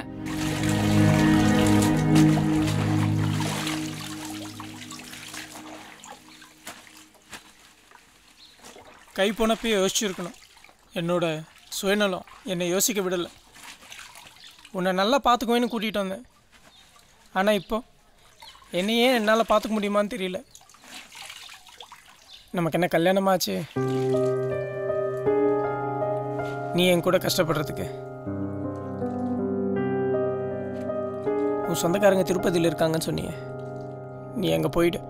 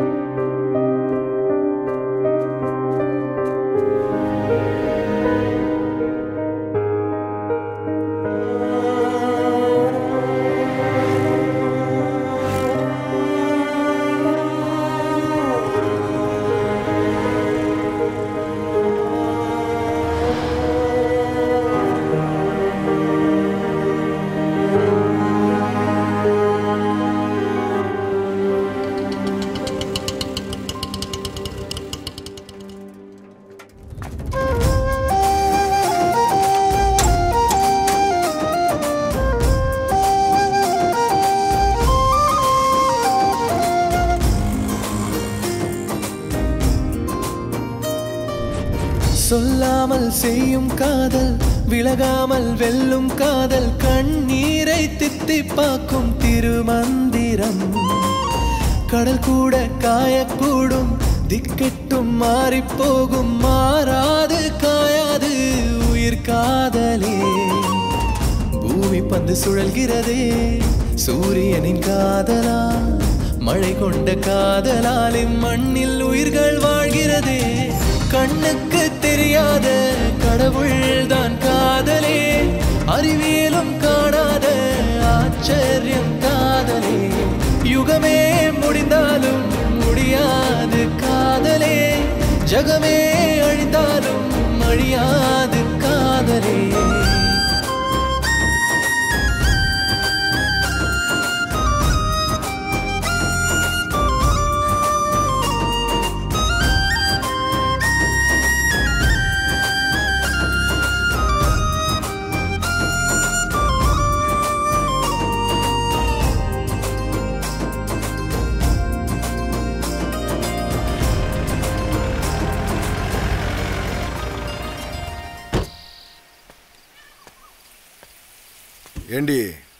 நாள் கூப்பிட்ட நான் இல்லை.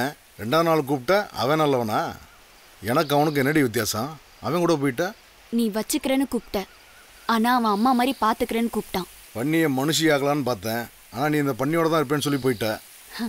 யாரு பண்ணி யாரு மனுஷன் எனக்கு தெரியாது.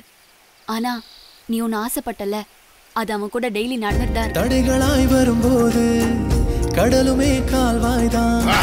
சீனத்து சுவருமே ஆப்பாயில் கொடுத்தனைக்கே உதச்சிருக்கணும். புழுவையும் புலியாக்கும் புலியையும் எலியாக்கும் இயற்கையின் படைப்பிலே அற்புதம் காதலே. இருபத்தி ரெண்டு ஆறு. இருபத்தி ரெண்டு ஆறு. வருகிற இருபத்தி ஒன்னாம் தேதிக்கு தள்ளி வைக்கிறேன். இருபத்தொன்னு எட்டு. நீ எவ்வளோ பணம் வேணா கேளுமா. நான் கொடுக்குறேன். இல்ல வேணாம். தேவைப்படாது. ஒரு கண்ணிலே வலி பத்துமா? எதிர்கண்ணிலே வரும் ரத்தமே எதையுமே தாங்கிடும் இதயத்தை தந்திடுமே ஒன்றாய் சேரவே வானத்தை முட்டுமே கண்ணுக்கு தெரியாத கடவுள் தான் காதலே அறிவேலும் காணாத ஆச்சரியம் காதலே.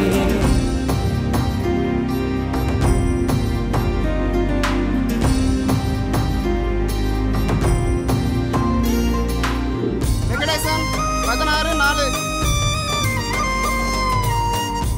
வெங்கடேசனின் விபத்து வழக்கை வருகின்ற மாதம் இரண்டாம் தேதிக்கு இந்த கோர்ட் ஒத்திவைக்கிறது.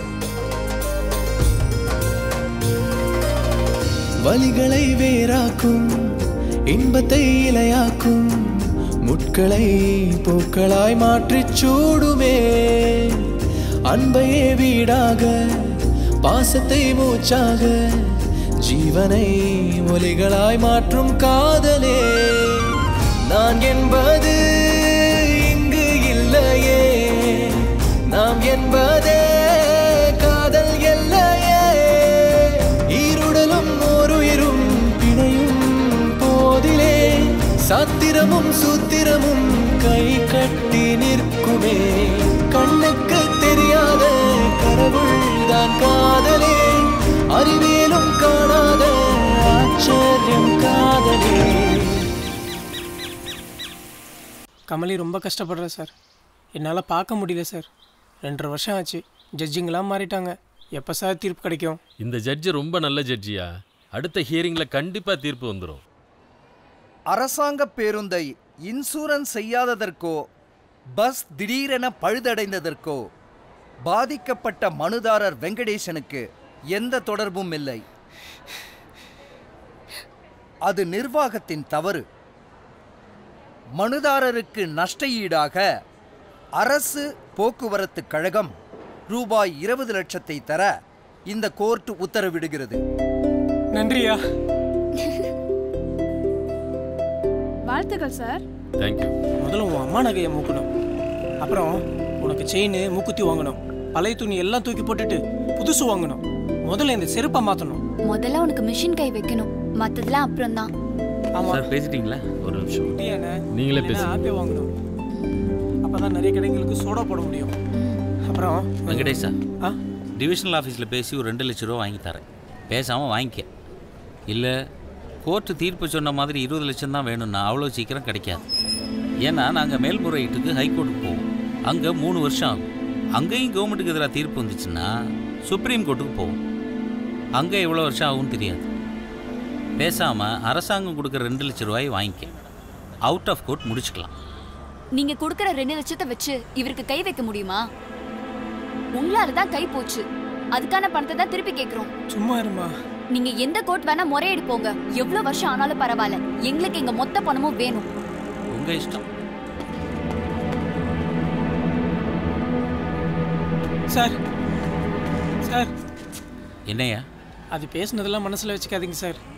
மேல்முறையீடு பண்ணாதீங்க சார். யோ உன் கேஸ் ட்ரையலுக்கு வரும்போதெல்லாம் உனக்கு பணம் கிடைக்கணும் தான் நினைப்பேன்? ஆனால் உனக்கு எதிராக தான் வாதாடுவேன். நான் பேனல் வக்கீல். அரசாங்கம் உனக்கு பணம் கொடுக்க டிலே பண்ண சொல்லுது. அதைத்தான் நான் செய்கிறேன் மூணு வருஷம் கஷ்டப்பட்டு இப்போ தான் சார் கோர்ட்டு தீர்ப்பு கொடுத்துருக்கு. நீயாவது உனக்கு கிடைக்க வேண்டிய நஷ்டஈட்டை தைரியமாக கோர்ட் படியேறி கேட்குற உனக்கு எதிராக வாதாடுற எனக்கே அரசாங்கம் சம்பளம் கொடுக்காம இருக்கியா? நான் எங்கே போய் கேட்குறது என்ன சார் சொல்கிறீங்க ஆமாயா பாதிக்கப்பட்ட எனக்கு தான் இன்னும் பணம் தர லேட் ஆகுதுன்னு நினச்சா? அரசாங்கத்துக்கு ஆதரவாக வாதாடுற உங்களுக்கே இன்னும் பணம் தரலையா? கனடா நாட்டு கூட்டாட்சி. அப்புறம் அமெரிக்காவோட அடிப்படை உரிமை. சோவியத் யூனியனோட அடிப்படை கடமை. தென்னாப்பிரிக்காவோட அரசியல் சட்ட திருத்தம்.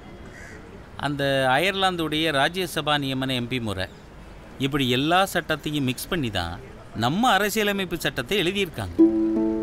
புரியல சார் இங்கே கோதுமை விளையுமா? விளையா சார். இல்லை இங்கே வளர்ற பனைமரம் பஞ்சாபில் வளருமா? தெரியாது சார். ஒவ்வொரு மண்ணுக்கும் ஒரு வாழ்க்கை ஒவ்வொரு வழக்கம் இருக்கு. அதை ஒட்டி எழுதப்படுற சட்டங்கள் தான் அந்த மக்களுக்கு நல்லது செய்யும். புரியலல்ல? ரொம்ப யோசிக்காத. குழம்பிடுவேன். சரியா கோர்ட்டில் பார்க்கலாம். வெங்கடேசனின் வழக்கில் காஞ்சிபுரம் சப்கோர்ட் வழங்கிய தீர்ப்பை உறுதி செய்து அவருக்கு இருபது லட்சம் ரூபாயை நஷ்டஈடாக வழங்க அரசு போக்குவரத்து கழகத்திற்கு இந்த கோர்ட் ஆணையிடுகிறது. கோர்ட் ஆர்டர் கொடுத்து ஒரு வாரம் ஆச்சு சார். இன்னும் பேமெண்ட் கொடுக்காம இருக்கீங்க? சுப்ரீம் கோர்ட்டு கர்நாடக கவர்மெண்ட்டை காவிரி தண்ணி கொடுக்க சொல்லி உத்தரவு போட்டுச்சு கொடுத்தாங்களா? சென்ட்ரல் கவர்மெண்ட்டை காவிரி மேலாண்மை வாரியம் அமைக்க சொல்லி உத்தரவு போட்டாங்க. அதான் ஆணை அமைச்சாச்சே. அப்புறம் என்ன? எல்லாத்துக்கும் நடைமுறைன்னு ஒன்று இருக்குது சார். கோர்ட்டு சட்டம் போலீஸ் எல்லாமே என்ன மாதிரி ஏழைங்களை தண்டிக்க தானே சார்? அரசாங்கம் தப்பு செஞ்சா எதுவும் செய்யாதா சார்? அதெல்லாம் நீ பேசக்கூடாது. நீ ஏன் பேசுகிற நீ என்ன சமூக விரோதியா? அரசாங்கத்தை இருக்கிறியா நீ? இப்போ நீங்கள் பணம் கொடுக்க மாட்டேன்னு சொல்கிறீங்க அப்படி தானே சார்? சார் நாங்கள் கோர்ட் ஆர்டரை ஹெட் ஆஃபீஸுக்கு அனுப்பியிருக்கோம். அக்கௌண்ட் செக்ஷனில் அதை செக் பண்ணுவாங்க. ப்ராசஸ் நிறையா இருக்குது சார். டைம் ஆகும் சார். எவ்வளோ நாள் சார் ஆகும்? எவ்வளோ நாளா? மாதமோ வருஷமோ? நீங்கள் அழைக்கும் நம்பர் தற்போது அணைத்து வைக்கப்பட்டிருக்கிறது. கால் கமலி. நீங்கள் அழைக்கும் நம்பர் தற்போது அணைத்து வைக்கப்பட்டிருக்கிறது. நீங்கள் அழைக்கும் நம்பர் தற்போது அணைத்து வைக்கப்பட்டிருக்கிறது. Switch off switch off switch off ஒரு மணி நேரமா சுவிச் ஆஃப்ல இருக்கே.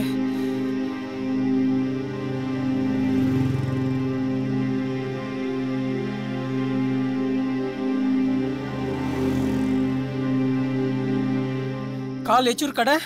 சொல்லு வெங்கடேஷா கமலி சோடா போட்டாலாண்ணா நாலு மணிக்கே வந்து சோடா போட்டு போயிடுச்சே. அஞ்சரை மணிக்கெல்லாம் வந்து போட்டு போயிடுச்சப்பா. ஏழரை மணிக்கே வந்துட்டு போயிடுச்சப்பா. கடைசியா எல்லா சோடாவையும் என்கிட்ட தான் போட்டுச்சு. இந்நேரம் வீட்டுக்கு வந்திருக்கணுமேப்பா. நடுவுல வேற காடு ஆள் நடமாட்டம் வேற இருக்காது. யாருன்னா கூட்டு போய் பார்ப்பா. அண்ணா இல்லக்கா? இல்லையே என்ன விஷயம்? கமலி இன்னும் வரல. அதான் அண்ணனை கூட்டின்னு போய் பார்க்கலாம் தாக்கா வெளியில போயிருக்காரு அவர் வர பதினோரு மணி ஆகுமே. பதினோரு மணி ஆகும்? பக்கத்துல எங்கன்னா கேட்டு பாரு இல்லையே வெங்கடேஷா ரமேஷ் வேலைக்கு போயிருக்கானே வர பத்து மணி ஆகுமே. பத்து மணிக்கு தான் வருவாள்ல? என்ன விஷயம் வெங்கடேஷா? கமலி இன்னும் வரல. அக்கா உனக்கு சைக்கிள் ஓட்ட தெரியுமாக்கா எனக்கு சைக்கிள் ஓட்ட தெரியாதே வெங்கடேஷா. அவன் வந்துடுவான் ரெண்டு பேரும் போய் பாருங்க. சரிக்கா.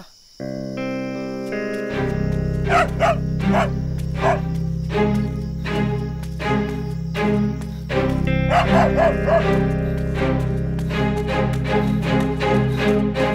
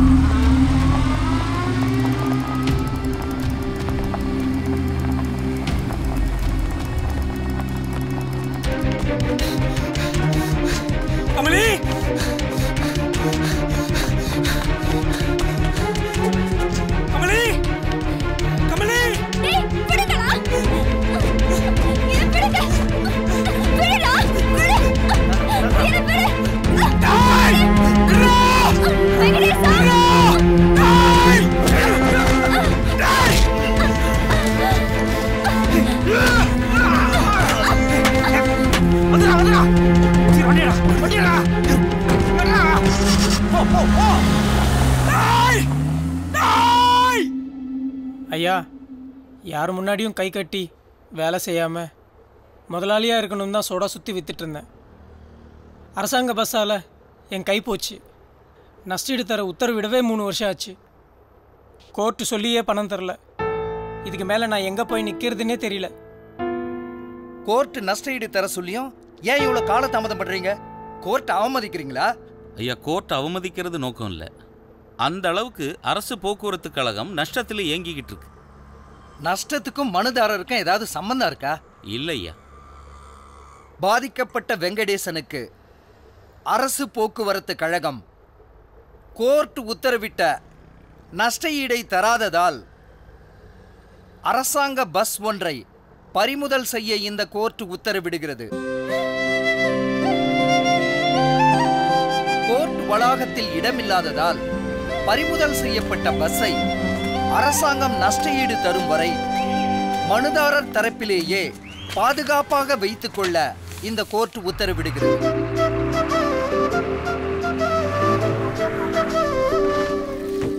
கமலி!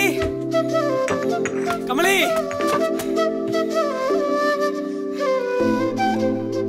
லேட்டாக கொடுத்தாலும் கடவுள் எல்லாத்தையும் எனக்கு பெஸ்ட்டாக தான் தருவார். உன்ன மாதிரி. நீ வந்த நேரம் சோடா கடை முதலாளியாக இருந்த நான்.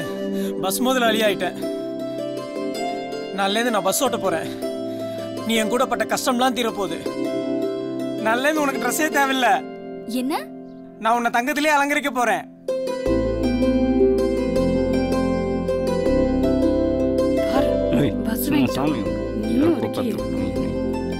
பஸ் வாங்கினா நான் ஃப்ளைட் வாங்குவேன்.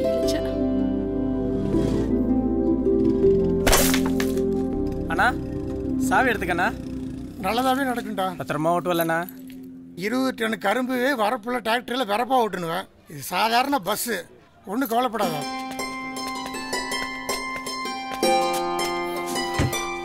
டிராக்டரி டிராக்டரி தான். பஸ்ஸு தான் நமக்கு. எதுடா பிரேக்கு எதுடா ஆக்சிலேட்டரு சும்மா. தமாஸ் தமாஸ்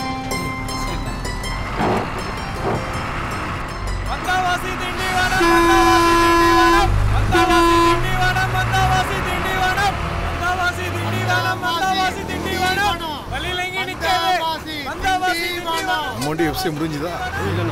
வந்தாவாசி திண்டிவனம் வந்தாவாசி திண்டிவனம். அவன் எப்படா பஸ் கண்டக்டரானா முதல் நாள் ஆஃபர் டிக்கெட் பாதி விலை தான் வந்தாவாசி திண்டிவனம். வந்தாவாசி திண்டிவனம். வந்தாவாசி திண்டிவனம் வந்தாவாசி திண்டிவனம். வழியில எங்க நிக்காது? வந்தாவாசி திண்டிவனம் வந்தாவாசி திண்டிவனம் பாதி விலை தான் வந்தாவாசி திண்டிவனம் ஏய் யாரா நீங்க? கவர்மெண்ட் பஸ் முன்னாடி கத்திட்டு இருக்கீங்க? கவர்மெண்ட் வண்டி இல்லைங்க. கோர்ட் எனக்கு ஜப்து பண்ணி கொடுத்த வண்டி இது. கோர்ட்டு ஜப்தி பண்ணி கொடுத்தது பஸ்ஸை மட்டும்தான். ரூட்டை இல்லை. நீ பாட்டுக்கு டிக்கெட் போட்டு ஏத்துன உள்ள தள்ளிடுவேன் வண்டி வெளியிடுறா பஸ்ஸை ஒழுங்கா பாத்துக்கோ. பஸ்ஸுக்கு எதனா ஆச்சு உள்ள தூக்கி வச்சிருவாங்க.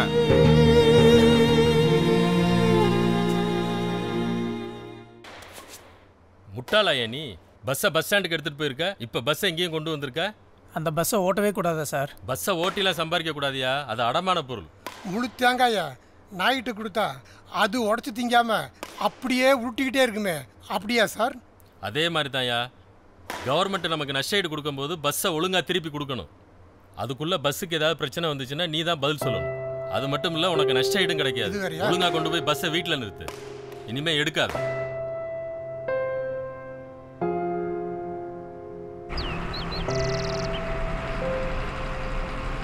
டேய் வண்டி பஞ்சர் போல இருக்குதுடா பஞ்சரா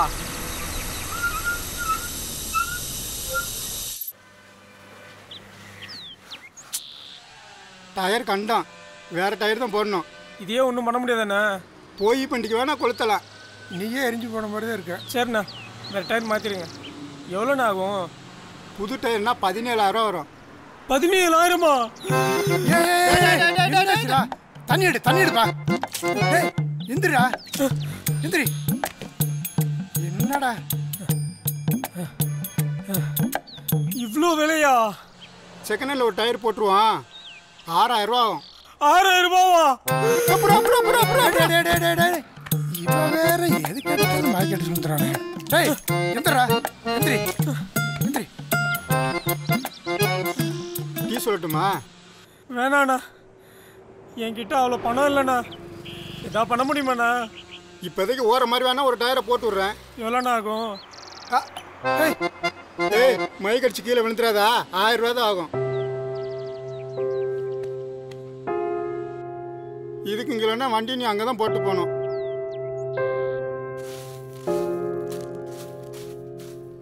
பஸ் எடுத்துட்டு வந்தாச்சா? செல்ஃபில் ஒரு ஆயிரம் ரூபா இருக்கும் எடு. அதான் நான் எசன்ஸ்க்கும் சிலிண்டருக்கும் கொடுத்துட்டேனே. எல்லா கலெக்ஷன் வந்துருச்சா? என்னாச்சு? பஸ்ஸு டயர் வெடிச்சிச்சு. ஒரு ஆயிரம் ரூபாய் வேணும்.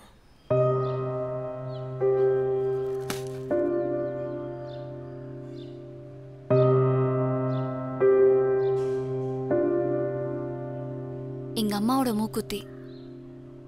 இத வச்சு பணம் வாங்கிக்கோ. அதான் தங்கத்துல ட்ரெஸ் போடுறேன்னு சொன்னல அப்ப இதையும் மீட்டு கொடுத்துரு.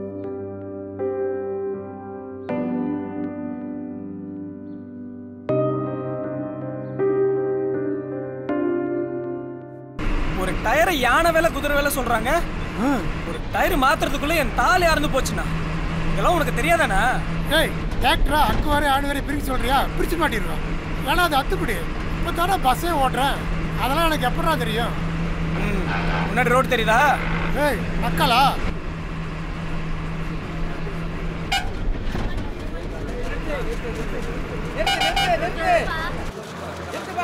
நிறுத்து நிறுத்து நிறுத்து.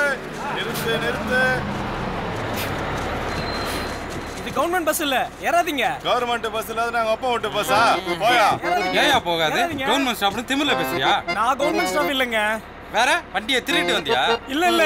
எனக்கு கோட் பிடிச்சி கொடுத்த வண்டி. புரியலையே. விளக்கமா சொல்லு. என்னப்பா வெட்டி கதை பேசிக்கிட்டு பஸ் எடுப்பா டைம் ஆகுது. டேய் வெங்கடேஷா. வண்டிக்கு முன்னாடி பாடுறா. பஸ் எடுக்கல கண்ணாடியை உடச்சிடும் எந்த தப்பு சொல்லக்கூடாது. பஸ் எடுக்கல கல்லாலே பஸ்ஸை உடச்சிருவ. என்ன தப்பு சொல்லக்கூடாது. பொறுண்ணா ஓரமா வாண்ணா பஸ்ஸை எடுக்கல கல்லாலே பஸ்ஸை உடச்சிருவ நான் சொல்றது கேளு. இந்த பஸ்ல என் மக்களை ஏத்திட்டு போகணும். இல்ல இந்த பஸ் என் மேல ஏத்திட்டு போகணும். ஷோ சாவடிக்கிறானுங்க. டிக்கெட் கொடுக்கல? ஆ? எங்கள் ஆயா இன்னைக்கு வயசுக்கு வந்துச்சு. அதான் டிக்கெட் ஃப்ரீ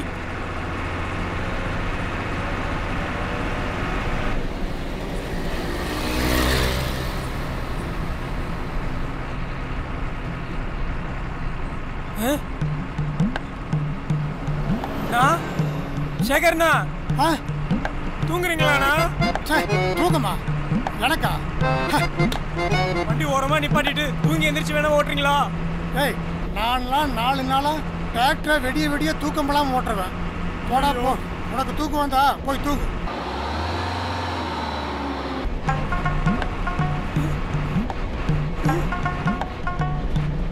ஒரு கூட சன்லைட் ஒரு கூட மூன்லைட் ஒரு கூட சன்லைட் ஏன்டா நல்ல பாட்டை கொலை பண்ற நம்ம சாவாம இருக்கிறதுக்கு தானா ஒரு கூட சன்லைட் ஒரு கூட மூன்லைட் ஒரு கூட சன்லைட் ஒரு கூட மூன்லைட் ஒரு கூட சன்லைட் மூன்லைட் ஒரு கூட. சன்லைட் ஒரு கூட மூன்லைட் ஒரு கூட பொண்டாடிடா இருடா சொல்லுமா வந்துட்டேன் வந்துட்டே இருக்குன்னு சொல்றேன்ல.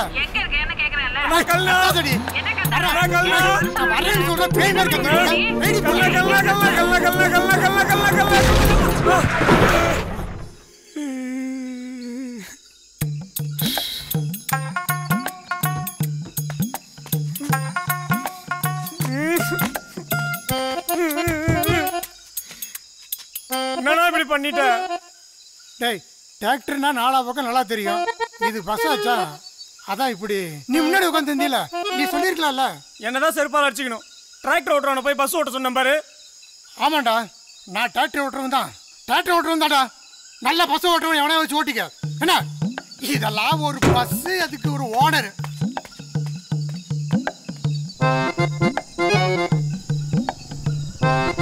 நிறுத்து நிறுத்து நிறுத்து நிறுத்துப்பா. ஐயன் தானே போற ஆமா ஆமா. அப்படியே. அண்ணா. அண்ணா தெரியாம சொல்லிட்டேனா சேகர்ண்ணா.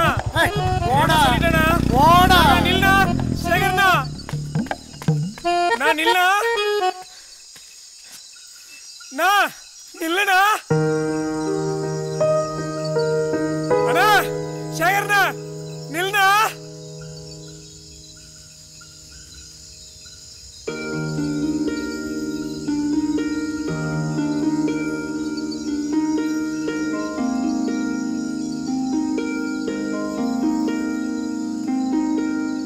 தேவதை மண்ணிலே இல்லை என்றாரே. நீ பிறந்த போதிலே பொய்யாய் போனதே. சந்திரன் சூரியன் உன் அன்பை காணவே.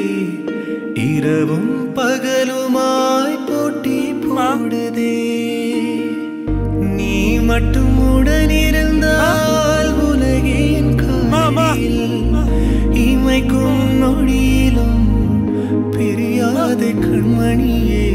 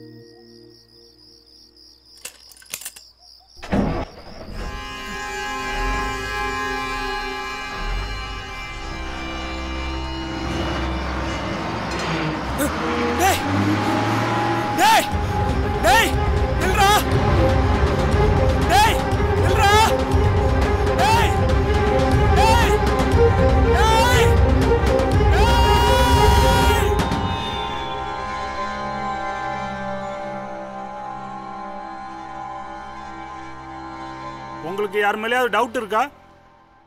பஸ் டிவிஷனல் மேனேஜரு எங்கள் ஏரியா கவுன்சிலரு என்கிட்ட வேலை செஞ்ச பையன் அப்புறம் என் பக்கத்து வீட்டுக்காரரு யோ உனக்கு தெரிஞ்ச எல்லார் பேரையும் சொல்றியா? இல்லைங்கய்யா. ஐயா கவர்மெண்ட் பஸ்ஸு கோர்ட்டு வேற தலையிட்டு இருக்கு. இவன் சொல்ற எல்லாரையும் விசாரிச்சிருவோம். இது கோர்ட்டு விஷயம். இதுக்கு என்ன பண்ணணுமோ அதை பண்ணி முடிச்சிடுங்க. தப்பாக நினச்சிக்காதீங்க. நேரில் வந்து கேட்க வேணாம் தான் நினச்சேன். கோர்ட்டு பிடிச்சி கொடுத்த பஸ்ஸு நாளைக்கு இவன் எதையும் ஏழரை இழுத்து விட்டுக்கூடாது பாருங்க. அண்ணா முன்ன நடந்தது ஏதாவது மனசில் வச்சு ஏதாவது பண்ணியிருந்தா பஸ்ஸு கொடுத்துருங்கண்ணா. எனக்கு நீ சம்மான ஆளடா நான் அவன் கூட சண்டை போடுறதுக்கு. யோ நான் தான் விசாரிச்சுட்டு இருக்கேன்ல.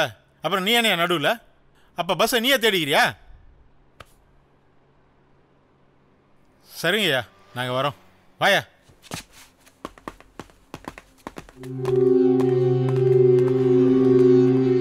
எங்கள் வண்டியை நாங்கள் ஏன் சார் திருடணும்?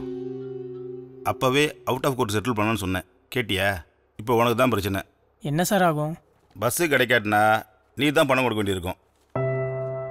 உனக்கு தர வேண்டிய நஷ்டீடுக்கு பதிலாக பஸ்ஸை ஜப்தி பண்ண மாதிரி உன் வீடை ஜப்தி பண்ண வேண்டியிருக்கும்.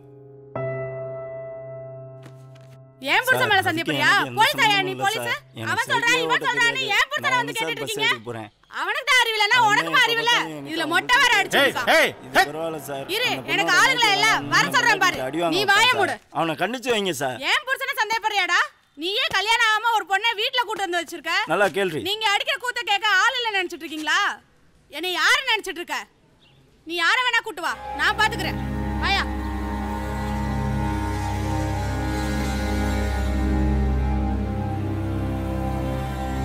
நீ தான் அவனோட தங்கியிருக்கிறியா? ஆமா சார். எப்போ கல்யாணம்? பஸ் எங்க?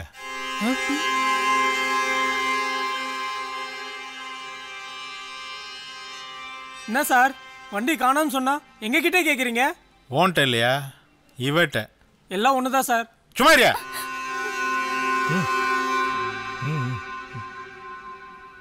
பஸ் எங்க? எனக்கு தெரியாது. இவன் எல்லாம் என்ன யார் யார் வச்சுட்டு இருக்கிற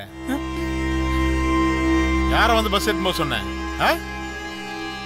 சார் தயவுசெய்து அந்த மாதிரிலாம் பேசாதீங்க சார். யோ கல்யாணம் ஆன பொண்டாட்டியே இந்த காலத்தில் நம்ப முடியல. கள்ளக்காதலனோட சேர்ந்து புருஷனையே கழுத்து அறுத்துறாளுக. சார் வேணாம் சார்.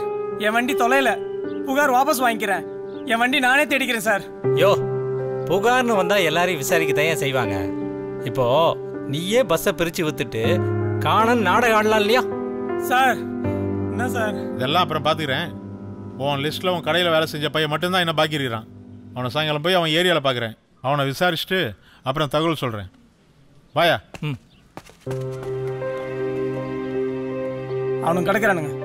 லூசு பசங்க. வண்டி திட்டினவனை பிடிக்க வக்கில்ல புகார் கொடுத்தவனே விசாரிக்கிறானுங்க. நீ ஒன்றும் மனசில் வச்சுக்காத. அவனுங்களை நம்பி ஒரு பிரயோஜனம் இல்லை. நானே போய் வண்டி தேடுறேன்.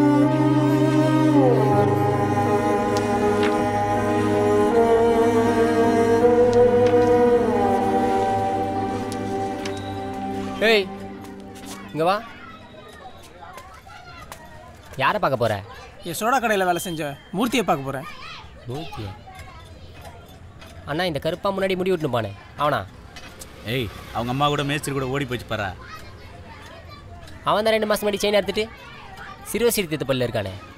சிறுவர் என்ன விஷயம்? ஒன்றும் இல்லைங்க. ஏய் இவர் பெரிய கலர் அவனை கருப்புன்றார். விளாட்றா. நீ ஃபாலோ பண்ணா.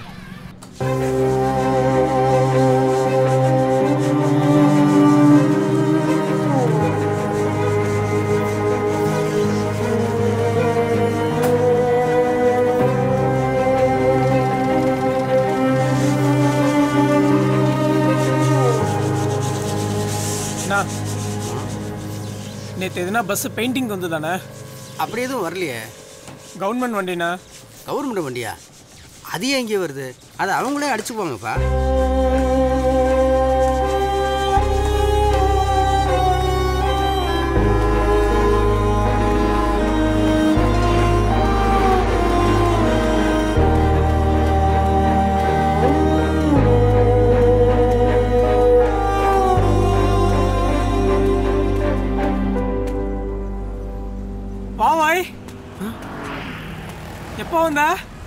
ரெண்டு நாள் ஆச்சு.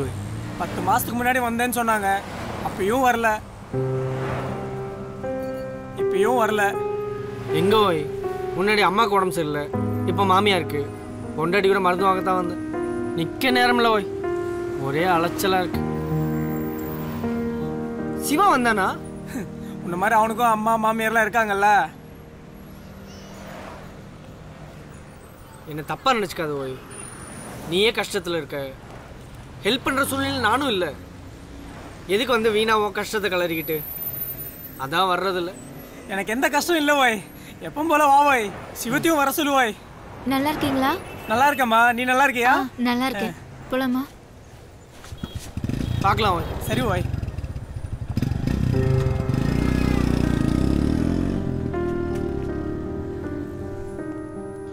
பஸ்ஸை காணுமா? ஆமாங்க. ஹலோ ஸ்டேஷனில் தானே இருக்க? நம்ம மூஞ்ச பார்த்து பழம்னு நினச்சிட்டான். நம்மளை பற்றி தெரியல. நீ சொல்லு இந்த காது ஃப்ரீயாக தானே இருக்கு? நேற்று பஸ் ஸ்டாண்ட் போயிட்டு வந்து ரொம்ப நாளா பிரச்சனை பண்ணிட்டு இருக்கான். ஆளை தனியா கூட்டிட்டு போய் குமுறு குமுறுன்னு குமுறணும். ஒரே அடி. சத்தம் கேட்டுச்சு. கழுத்து திரும்பிக்கணும். வாயிலே குத்தணும். என் மேல கோவம் இருந்து பஸ் எடுத்து குபேரனு கூட இருக்கான்ல. இடத்த சொல்றேன். வந்துரு. பார்ட்டி வசமா மாட்டி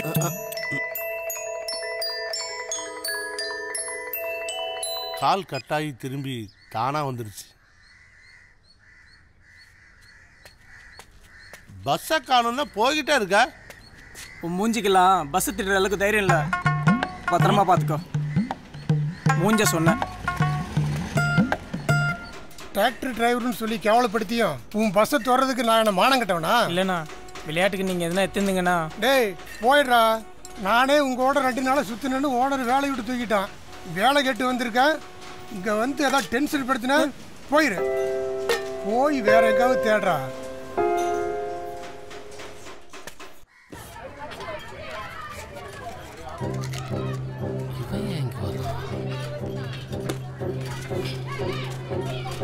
டேய் அந்த சோடா கடைக்காரன் நம்ம ஏரியாவுக்கு பிரச்சனை பண்ணலான்னு வந்திருக்கான். எங்கடா இருக்க? வீட்டில் தான் இருக்கேன். எதுக்கு பயப்படுற? ரெண்டா சந்துக்காவா? பார்த்துலாண்ணா சரி சரி.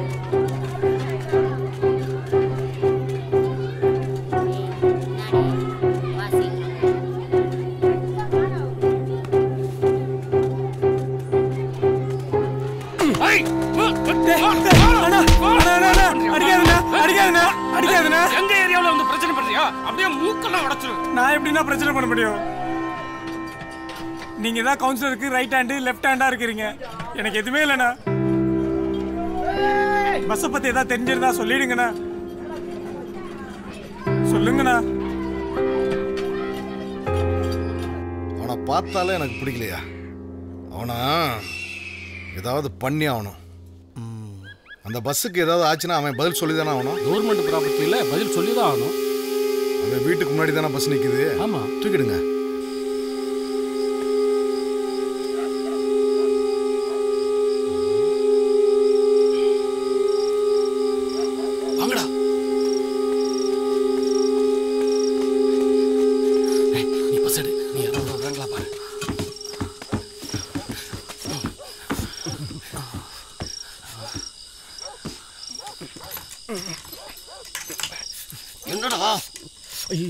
சாயில் செட் ஆகலையே டேய் என்னடா பண்ற?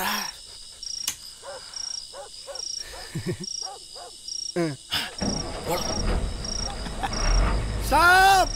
ஸ்டாப்! நிக்கிற பஸ் ஸ்டாப் ஸ்டாப் கத்துறானே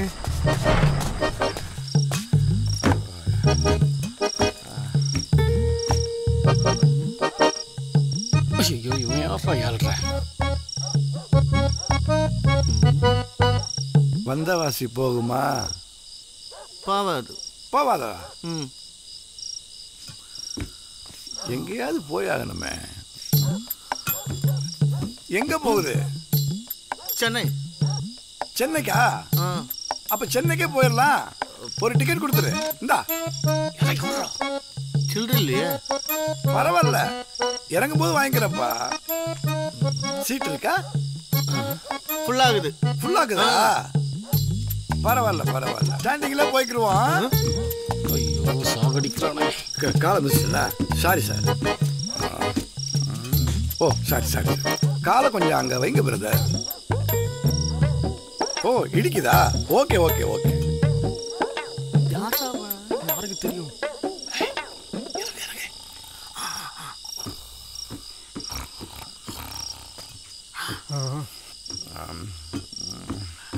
சென்னை வந்துருச்சா? இன்னும் வரலப்பா. சாப்பிட்றதுக்காக ஹோட்டலில் நிறுத்தி வச்சிருக்கோம். பத்து நிமிஷம் பஸ் நிற்கும். யார் யார் போய் சாப்பிட்றீங்களா சாப்பிட்டு சீக்கிரமா வாங்க. ஓடிட்டாங்களா? ஓடி. ஐயோ ஐயோ.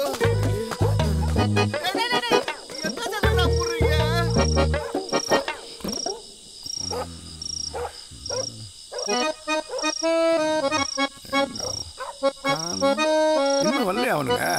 ஹ, இவ்வளவு பேர் நாம் காத்துக்கிட்டு இருக்கிறது கூட யோசிக்காம இந்த டிரைவரும் கண்டக்டரும் ஓசியில் கிடைக்குதுங்கிறதுக்காக இவ்வளவு நேரம் சாப்பிட்டுக்கிட்டு இருக்கானுங்க பார்த்தீங்களா நாம் எதுனா வாங்கி சாப்பிட்ற மாதிரியா இருக்குது? மட்டமான சாப்பாட்டை ஒன்றுக்கு மூணு மடங்கா வைக்கிறானுங்க. இன்னைக்கு நான் கற்றுக் கொடுக்குற பாடத்தில் இனிமே எந்த டிரைவரும் கண்டக்டரும் பஸ்ஸை வழியில் இருக்கிற ஹோட்டலில் நிறுத்தவே மாட்டானுங்க. பார்த்துங்க கோஆப்ரேட் வித் மீ பேக்கை கேர்ஃபுல்லாக பார்த்துங்க பிரதர் மூத்திரம் பேய் வச்சுக்குள்ள காசு கேட்பீங்க. நான் பேய வைக்கிறேன் பாருங்க.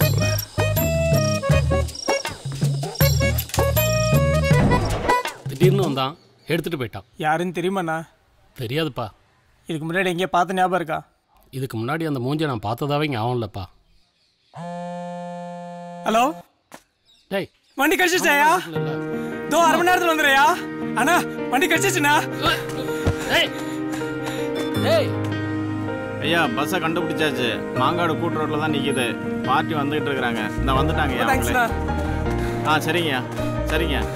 ஆ நான் வந்துடுறேன்யா என் மேல சந்தேகப்பட்டங்கிறத கூட வர்றேன் இனிமேல் கூப்பிட்டாலும் வரமாட்டேன்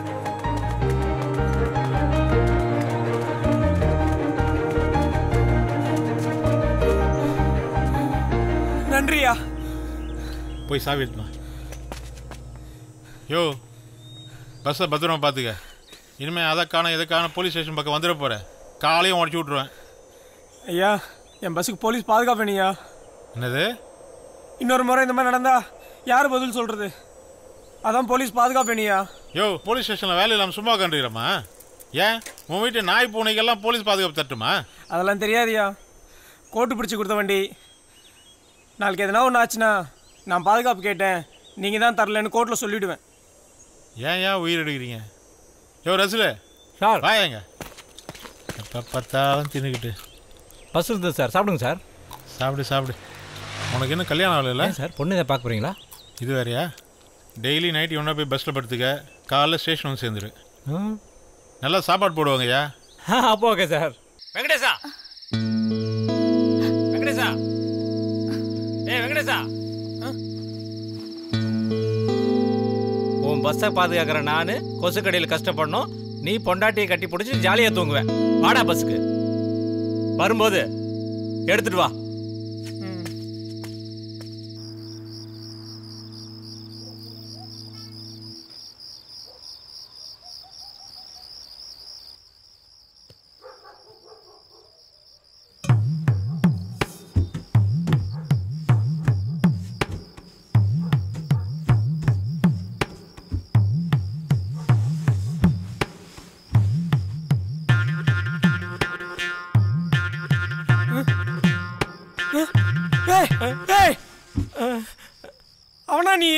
நான் அவன் இல்லை நான் அவன் இல்லை.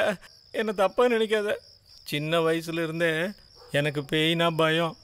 பேய்னா பயமா? நான் தனியாக படுக்க மாட்டேன். இப்படி யார் மேலேயாவது கையோ காலோ போட்டு படுத்துக்குவேன். ஒரு பிரதர் மாதிரி நினச்சி அட்ஜஸ்ட் பண்ணிக்கோ. பயப்படாத யார்கிட்டும் சொல்ல மாட்டேன். நீயும் சொல்லாத. படுத்துக்கலாம் வா.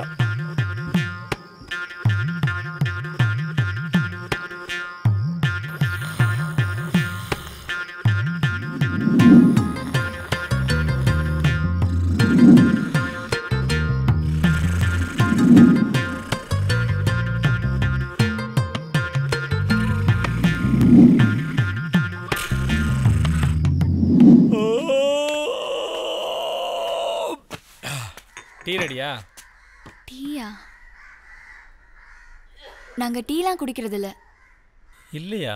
அப்போ நான் என்ன குடிக்கிறது? சோடா வேணா இருக்கு. சரி கொடு.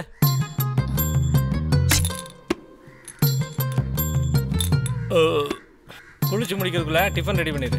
நாங்க பழைய சாப்பாடு தான் சாப்பிடுவோம். கடைக்கு போய் வாங்கிட்டு வா. இவங்க பஸ்ஸை பார்த்துக்கணுமா? ஆனால் பழைய சோறு தான் போடுவாங்களாம். இந்த கையில் காலர்லலாம் ப்ரெஷ்ஷை போட்டு நல்லா தேய்ச்சி துவை. அங்கே தான் அழுக்கு நிறையா இருக்கும். நல்லா கசக்குமா? ஆ அப்படி போட்டு குமுக்கு. ஆ பார்த்து சட்டைக்கு வலிக்க போகுது.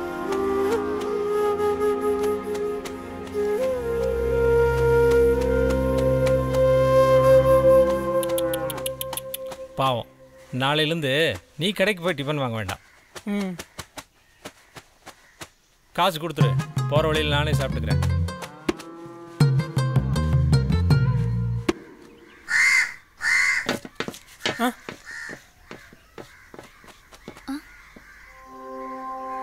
என்னது? உருண்டையா சில்வர் கலர்ல இருக்கு. அதை எடுக்காத.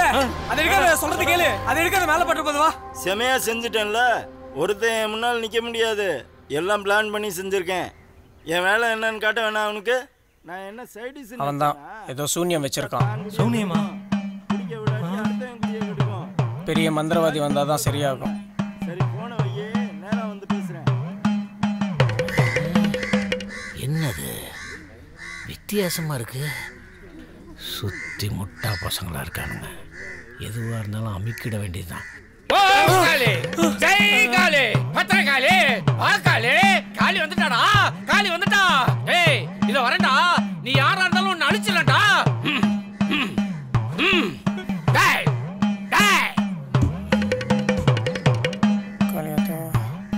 வெயிட்டா தேரும்னு நினைக்கிறேன். ஐ, அடங்குடா அடங்கு. என்ன யாரு நினைச்ச. இது இங்க அழிச்சா உன் கை ஊனமான மாதிரி காலும் ஊனமாயிடும். இது ஆள் நடமாட்டம் இல்லாத இடத்துல நான் அழிக்கிறேன். வயசான காலத்துல கூட விட மாட்டானுங்களே நில்லுங்கடா. டேய் சொன்னா கேளுங்கடா. நான் சாமிடா. எந்த தீய சக்தியும் அண்டாதடா. நான் இதை அழிக்கும் போது இதுல இருந்து தீய சக்தி வெளியாகி நீங்க எல்லாம் செத்து போயிடுவீங்கடா. அதனால தான் சொல்றேன் நீங்க எல்லாம் இங்கேயே இருங்க. நான் போய் இதுல இருக்கிறத அழிச்சிட்டு வர்றேன்.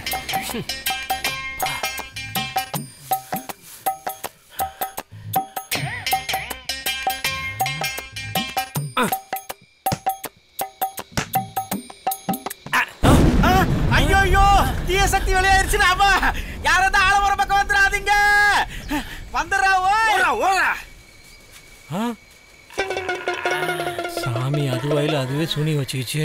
குருவிகாரம் பண்ணிக்கு வைக்கிற வெடிகுண்ட சூனியன்னு சொல்லி சாமியார் வாயை கிழிச்சு வச்சிருக்கிற. என்னையா சொல்றீங்க? ஒழுங்கா அவனுக்கு நஷ்டீடு கொடுத்துரு. இல்ல எஃப்ஐஆர் போட்டு உன்னை தூக்கி உள்ள வச்சிருவேன். நானே நஷ்டேடுக்காக அலைஞ்சிட்டு இருக்கேன் இதுல நான் எங்க நஷ்டேடு கொடுக்கறது?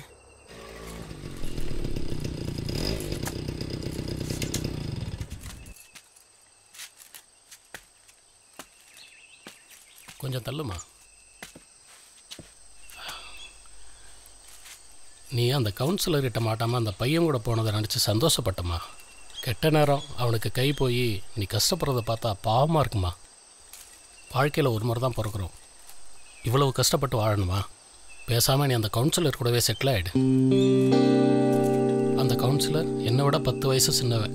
போடா வாடான்னு பேசுகிறான் எல்லாரும் முன்னாடியும் அசிங்கப்படுத்துகிறான் சாப்பிட்ணும் பொண்ணுக்கு கல்யாணம் பண்ணணும். கோவப்பட்டா முடியுமா? வாழ்க்கை எல்லாருக்கும் ஒரே மாதிரி அமையறதில்ல. நீ அந்த பையன் கூடவே இரு. ஆனால் கவுன்சிலர் கூடவும் இரு. வீடு பணம் நகைன்னு நிறையா சேர்த்துக்கோ. கொஞ்ச நாள் ஆனோன்னு அந்த கவுன்சிலருக்கு வயசாயிடும். விட்டுடுவான். அதுக்கப்புறம் அந்த பையனோட நிம்மதியாக வாழ். என்ன நீ மாமா பையன் நினச்சா கூட கவலை இல்லை. மனசில் பட்டுது சொல்லிட்டேன். சரியாச்சும்மா. வரேன்.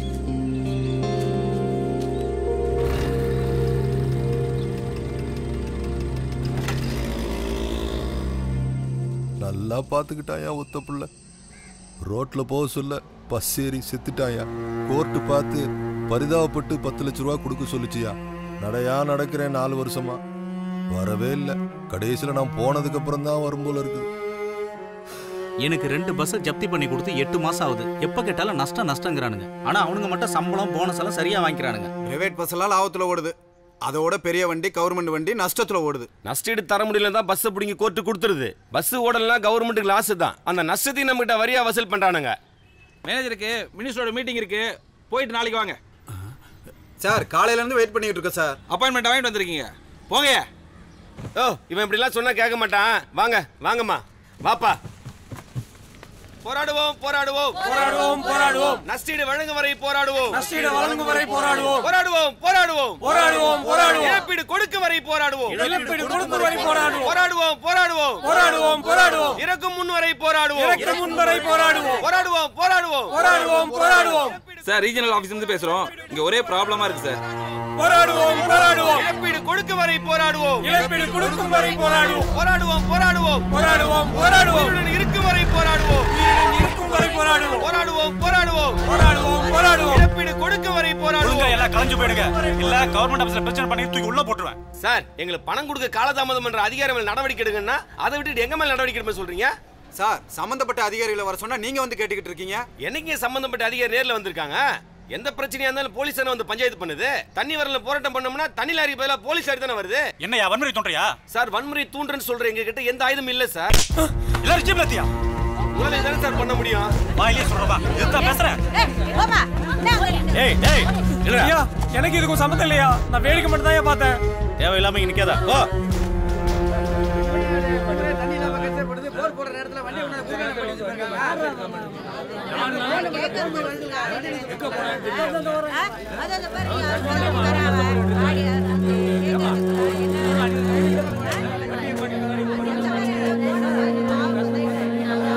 போறவன் சாவியை கொடுத்துட்டு போக வேண்டியது தானே?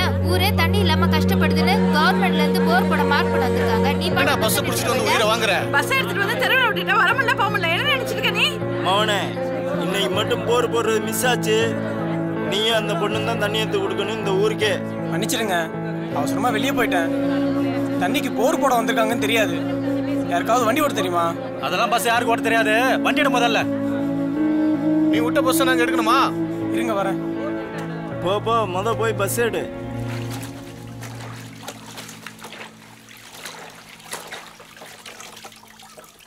வெங்கடேசனை தேடி வரான் என்ன கேட்பான் இல்லைன்னு சொல்லிடு. அக்கா? என்னப்பா? சேகரன் இல்லக்கா. இல்லையேப்பா. அவர் காலையிலே கலப்பா விட்ட கிளம்பிட்டாரே. என்னப்பா விஷயம்? ஒண்ணும் இல்லக்கா. பாவம் பஸ் எடுத்து விட போலாம்ல. அவனுக்கு வேணுட்டி டாக்ஸி டிரைவர்னு சொல்லி என்னை கேவலமா திட்டினான்ல. நல்லா அனுபவிக்கிட்டு. உன்னால தாண்டி எல்லா தண்ணியும் பிரச்சனை. மன்னிச்சுக்கோங்க மன்னிச்சுக்கோங்க.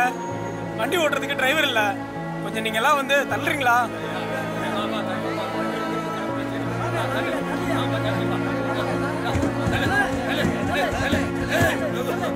பக்கத்து வீட்டுக்காரன்னு பாக்குறேன். இல்ல குரலே கிடைச்சிருவேன்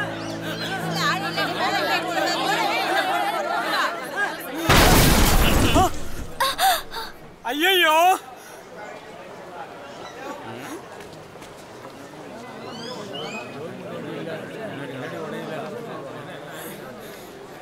கோர்ட்டு நம்ம வாழ்றதுக்கு இந்த பஸ்ஸை ஜப்து பண்ணி கொடுத்துச்சுன்னு நினச்சா? இதை பாதுகாக்கிறதுக்குள்ள நம்ம வாழ்க்கையே போயிடும் போல. நம்மால யானையை கட்டி தீனி போட முடியாது கமலி. பேசாம கோர்ட்ல ஒப்படைச்சிடலான் இருக்கேன். கால் வக்கீல். ஆ சொல்லுப்பா. இங்க பெரிய பிரச்சனையா இருக்கு சார். பஸ் நான் கோர்ட்ல ஒப்படைச்சிடுறேன். அவங்களே காசு வாங்கி தரட்டும். இப்போ முடியாதேப்பா. Court twenty days leave summer vacation. ஒரு இருபது நாள் வெயிட் பண்ணு. இருபது நாள் ஆகுமா? என்ன பண்றது?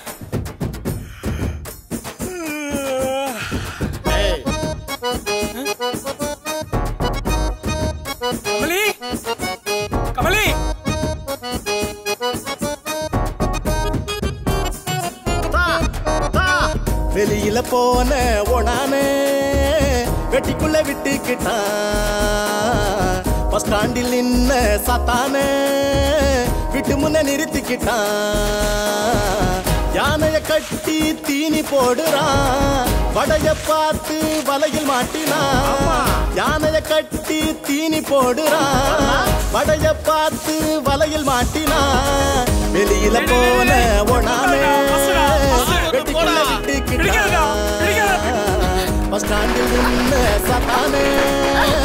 விட்டு முன்ன நிறுத்திக்கிட்டான் வெங்கடேசன் என் பையன்தாம்மா. அவனுக்கு ஒரு கல்யாணத்தை பண்ணி நல்லா வாழ வச்சு பார்க்கணுன்னு எவ்வளோ கஷ்டப்பட்டேன். இதை நானே சொல்லக்கூடாது. நீ சின்ன பொண்ணு வாழ வேண்டிய வயசு. இப்போ போய் அவனுக்கு தொடச்சிக்கின்னு கழுவிக்கின்னு.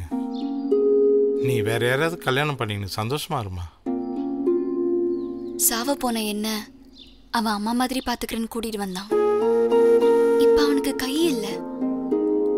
நான் அவனை யார் மாதிரி பாத்துக்கணும்? அப்போ அவனையே கல்யாணம் பண்ணிக்க வேண்டியதானே இப்ப அவன் கிட்ட கல்யாணம் பண்ணிக்கோன்னு கேட்டா அவன் மேல பரிதாபப்பட்டு கேக்குறேன்னு நினைச்சுப்பான். எனக்கு அவனை ரொம்ப பிடிக்கும். எப்படியோ கவர்மெண்ட்ல இருந்து பணம் வந்துடும் அவன் ரொம்ப சந்தோஷப்படுவான். அப்ப நான் அவன் கிட்ட போயிட்டு கல்யாணம் பண்ணிக்கன்னு கேட்பேன் நாங்க ரெண்டு பேரும் ரொம்ப சந்தோஷமா இருப்போம்.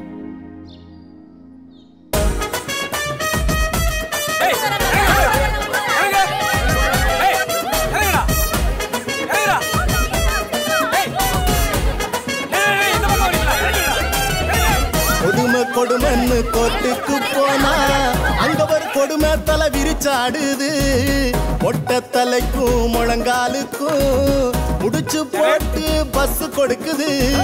மழைய கேட்டா வெயில் அடிக்குது. வெயில கேட்டா பனியா பொழியுது. கிணறு வெட்ட பூதம் கிளம்புது. சும்மா சும்மா வராதப்பா.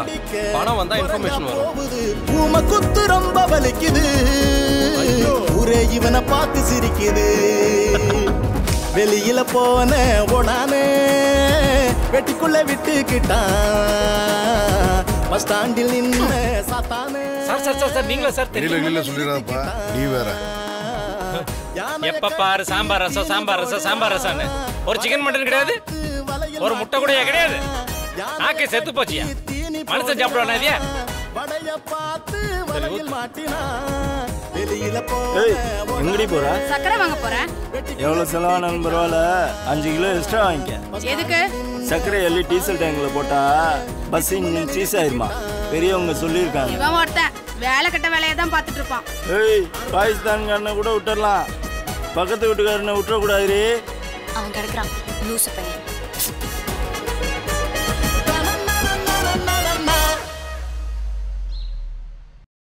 வெங்கடேசா இன்னையோட உன் பிரச்சனை எல்லாம் முடிஞ்சுது. நான் கோர்ட்டுக்குள்ளே வர முடியாது. வக்கீலை வச்சு அஃபீஷியலாக ஒப்படைச்சிடு. சரிங்க. பணத்தை வாங்க. சட்ட ரீதியாக ப்ரெஷர் கொடு. பணம் வந்தது கல்யாண சாப்பாடு போடியா? யாமுயாமுகா கட்சியின் தலைவர் கீதாவிற்கு பஸ்கோ ஊழல் வழக்கில் உச்சநீதிமன்றம் ஆறு ஆண்டுகள் சிறை தண்டனை விதித்து தீர்ப்பு கூறியுள்ளது. கலவரங்கள் நிகழ்வதால் தமிழகத்தில் பதற்றம் நிலவுகிறது. திருநெல்வேலி மதுரை காஞ்சிபுரம் மாவட்டங்களில் ஊரடங்கு உத்தரவு பிறப்பிக்கப்பட்டுள்ளது. துணை ராணுவம் நாளைக்குள் தமிழகம் வரும் என்று எதிர்பார்க்கப்படுகிறது. வேலூரில் சரக்கு வாகனம் இரண்டை கலவரக்காரர்கள் தீ வைத்து எரித்துள்ளனர்.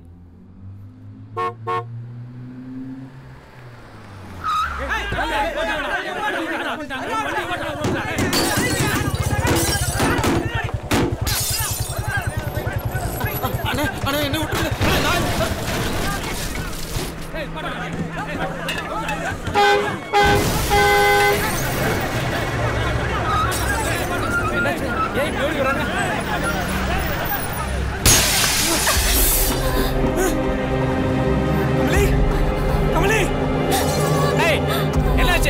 கமலி! இந்த தலையோட நீ பெரிய ஆளா கமலி கமலி!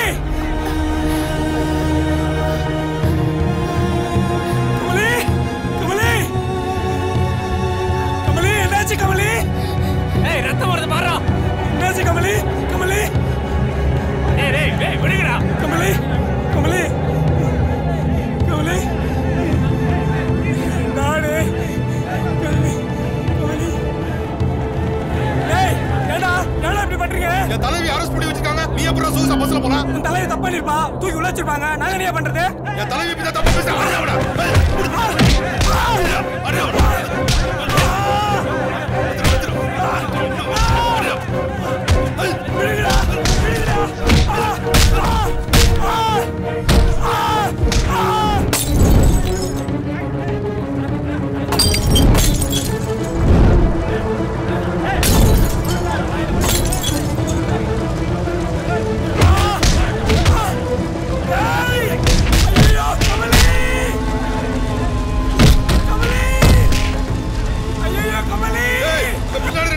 வருது பாரு. ஆட்டோ வருது பாரு பாரு பாரு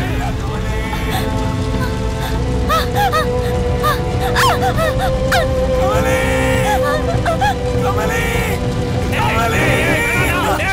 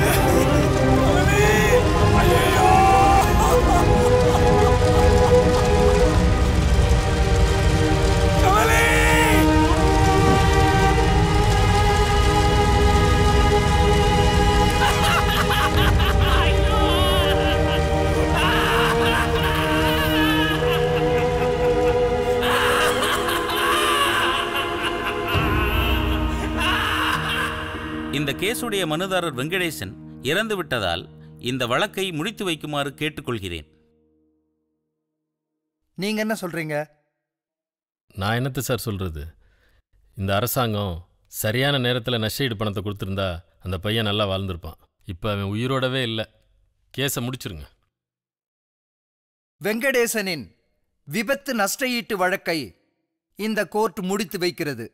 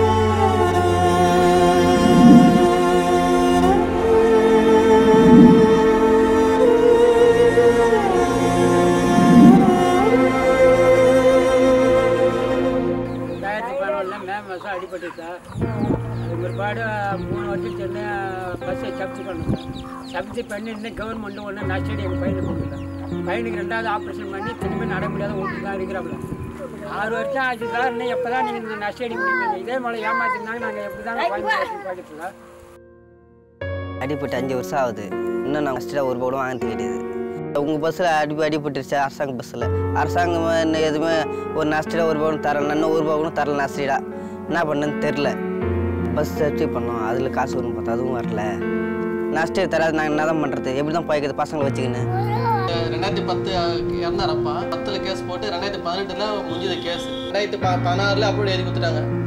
ஜப்தி பண்ணலாம் பஸ்ஸுன்னு இந்த ரெண்டு வருஷமா கிட்டத்தட்ட ஆறு ஏழு வாட்டி ஜப்தி பண்ணிட்டோம் பஸ் அடுத்த மாதம் இந்த டேட் போட்டு தருவாங்க. போய் நினைச்சேன்னா அவர் எழுதி கொடுத்த லெட்டர் இல்லைங்க அவர் ரிட்டையர் ஆயிட்டாருங்க இப்போ. சரி திருப்பி கோர்ட்டுக்கு போய் திருப்பி கோர்ட்டு மூலியம் போவோம் திருப்பி கோர்ட்டு மூலியம் திருப்பி போனால் ஒரு ஆறு மாதம் மூணு மாதம் ஆகும். அவங்க திருப்பி லெட்டர் பேட் எழுதி பஸ் ஜப்தி பண்ணுங்க அவங்க டேட் சொல்லுவாங்க இல்லைங்க இந்த வாட்டி நான் பண்ணி தரேன் அப்படின்னு சொல்லிட்டு இன்னொருத்தர் அவர் எழுதி தருவார் லெட்டர் பேட் தருவார். அவர் அவர் ரிட்டையர் ஆயிடுறாரு. ஒரு ஒரு வாட்டி ஒரு டேட் கொடுப்பாங்க திருப்பி அத்தாடி அவர் ரிட்டையர் ஆகிட்டு போயிடுவார். இந்த கவர்மெண்ட் தர நஷ்டீடு கொஞ்சம் சீக்கிரமாக கொடுத்துருந்தா நாங்கள் யாருக்கிட்டையும் கடன் வாங்க வேண்டிய அவசியமே இருந்திருக்காது எங்களுக்கு. அஞ்சு வருஷம் ஆகுது. பஸ் சப்ஜி பண்ணோம். இது வரைக்கும் நாலு அஞ்சு மாதம் ஆகுது. என்ன எப்படி கேட்கல என்ன பண்ணுறதுன்னே தெரியல. எங்களுக்கு யாரும் இல்லை. நாங்கள் போய் போய் கேஸில் பார்த்துட்டு கோர்ட்டில் பார்த்துட்டு வீட்டுக்கு வரோம். நாளைக்கு இன்றைக்கின்னு சொல்கிறாங்க இது வரைக்கும் என்ன எதுக்கு நடவடிக்கை கவர்மெண்ட் எடுக்கிற யாரை தான் நான் போய் கேட்கறது என்னன்னு தெரியல.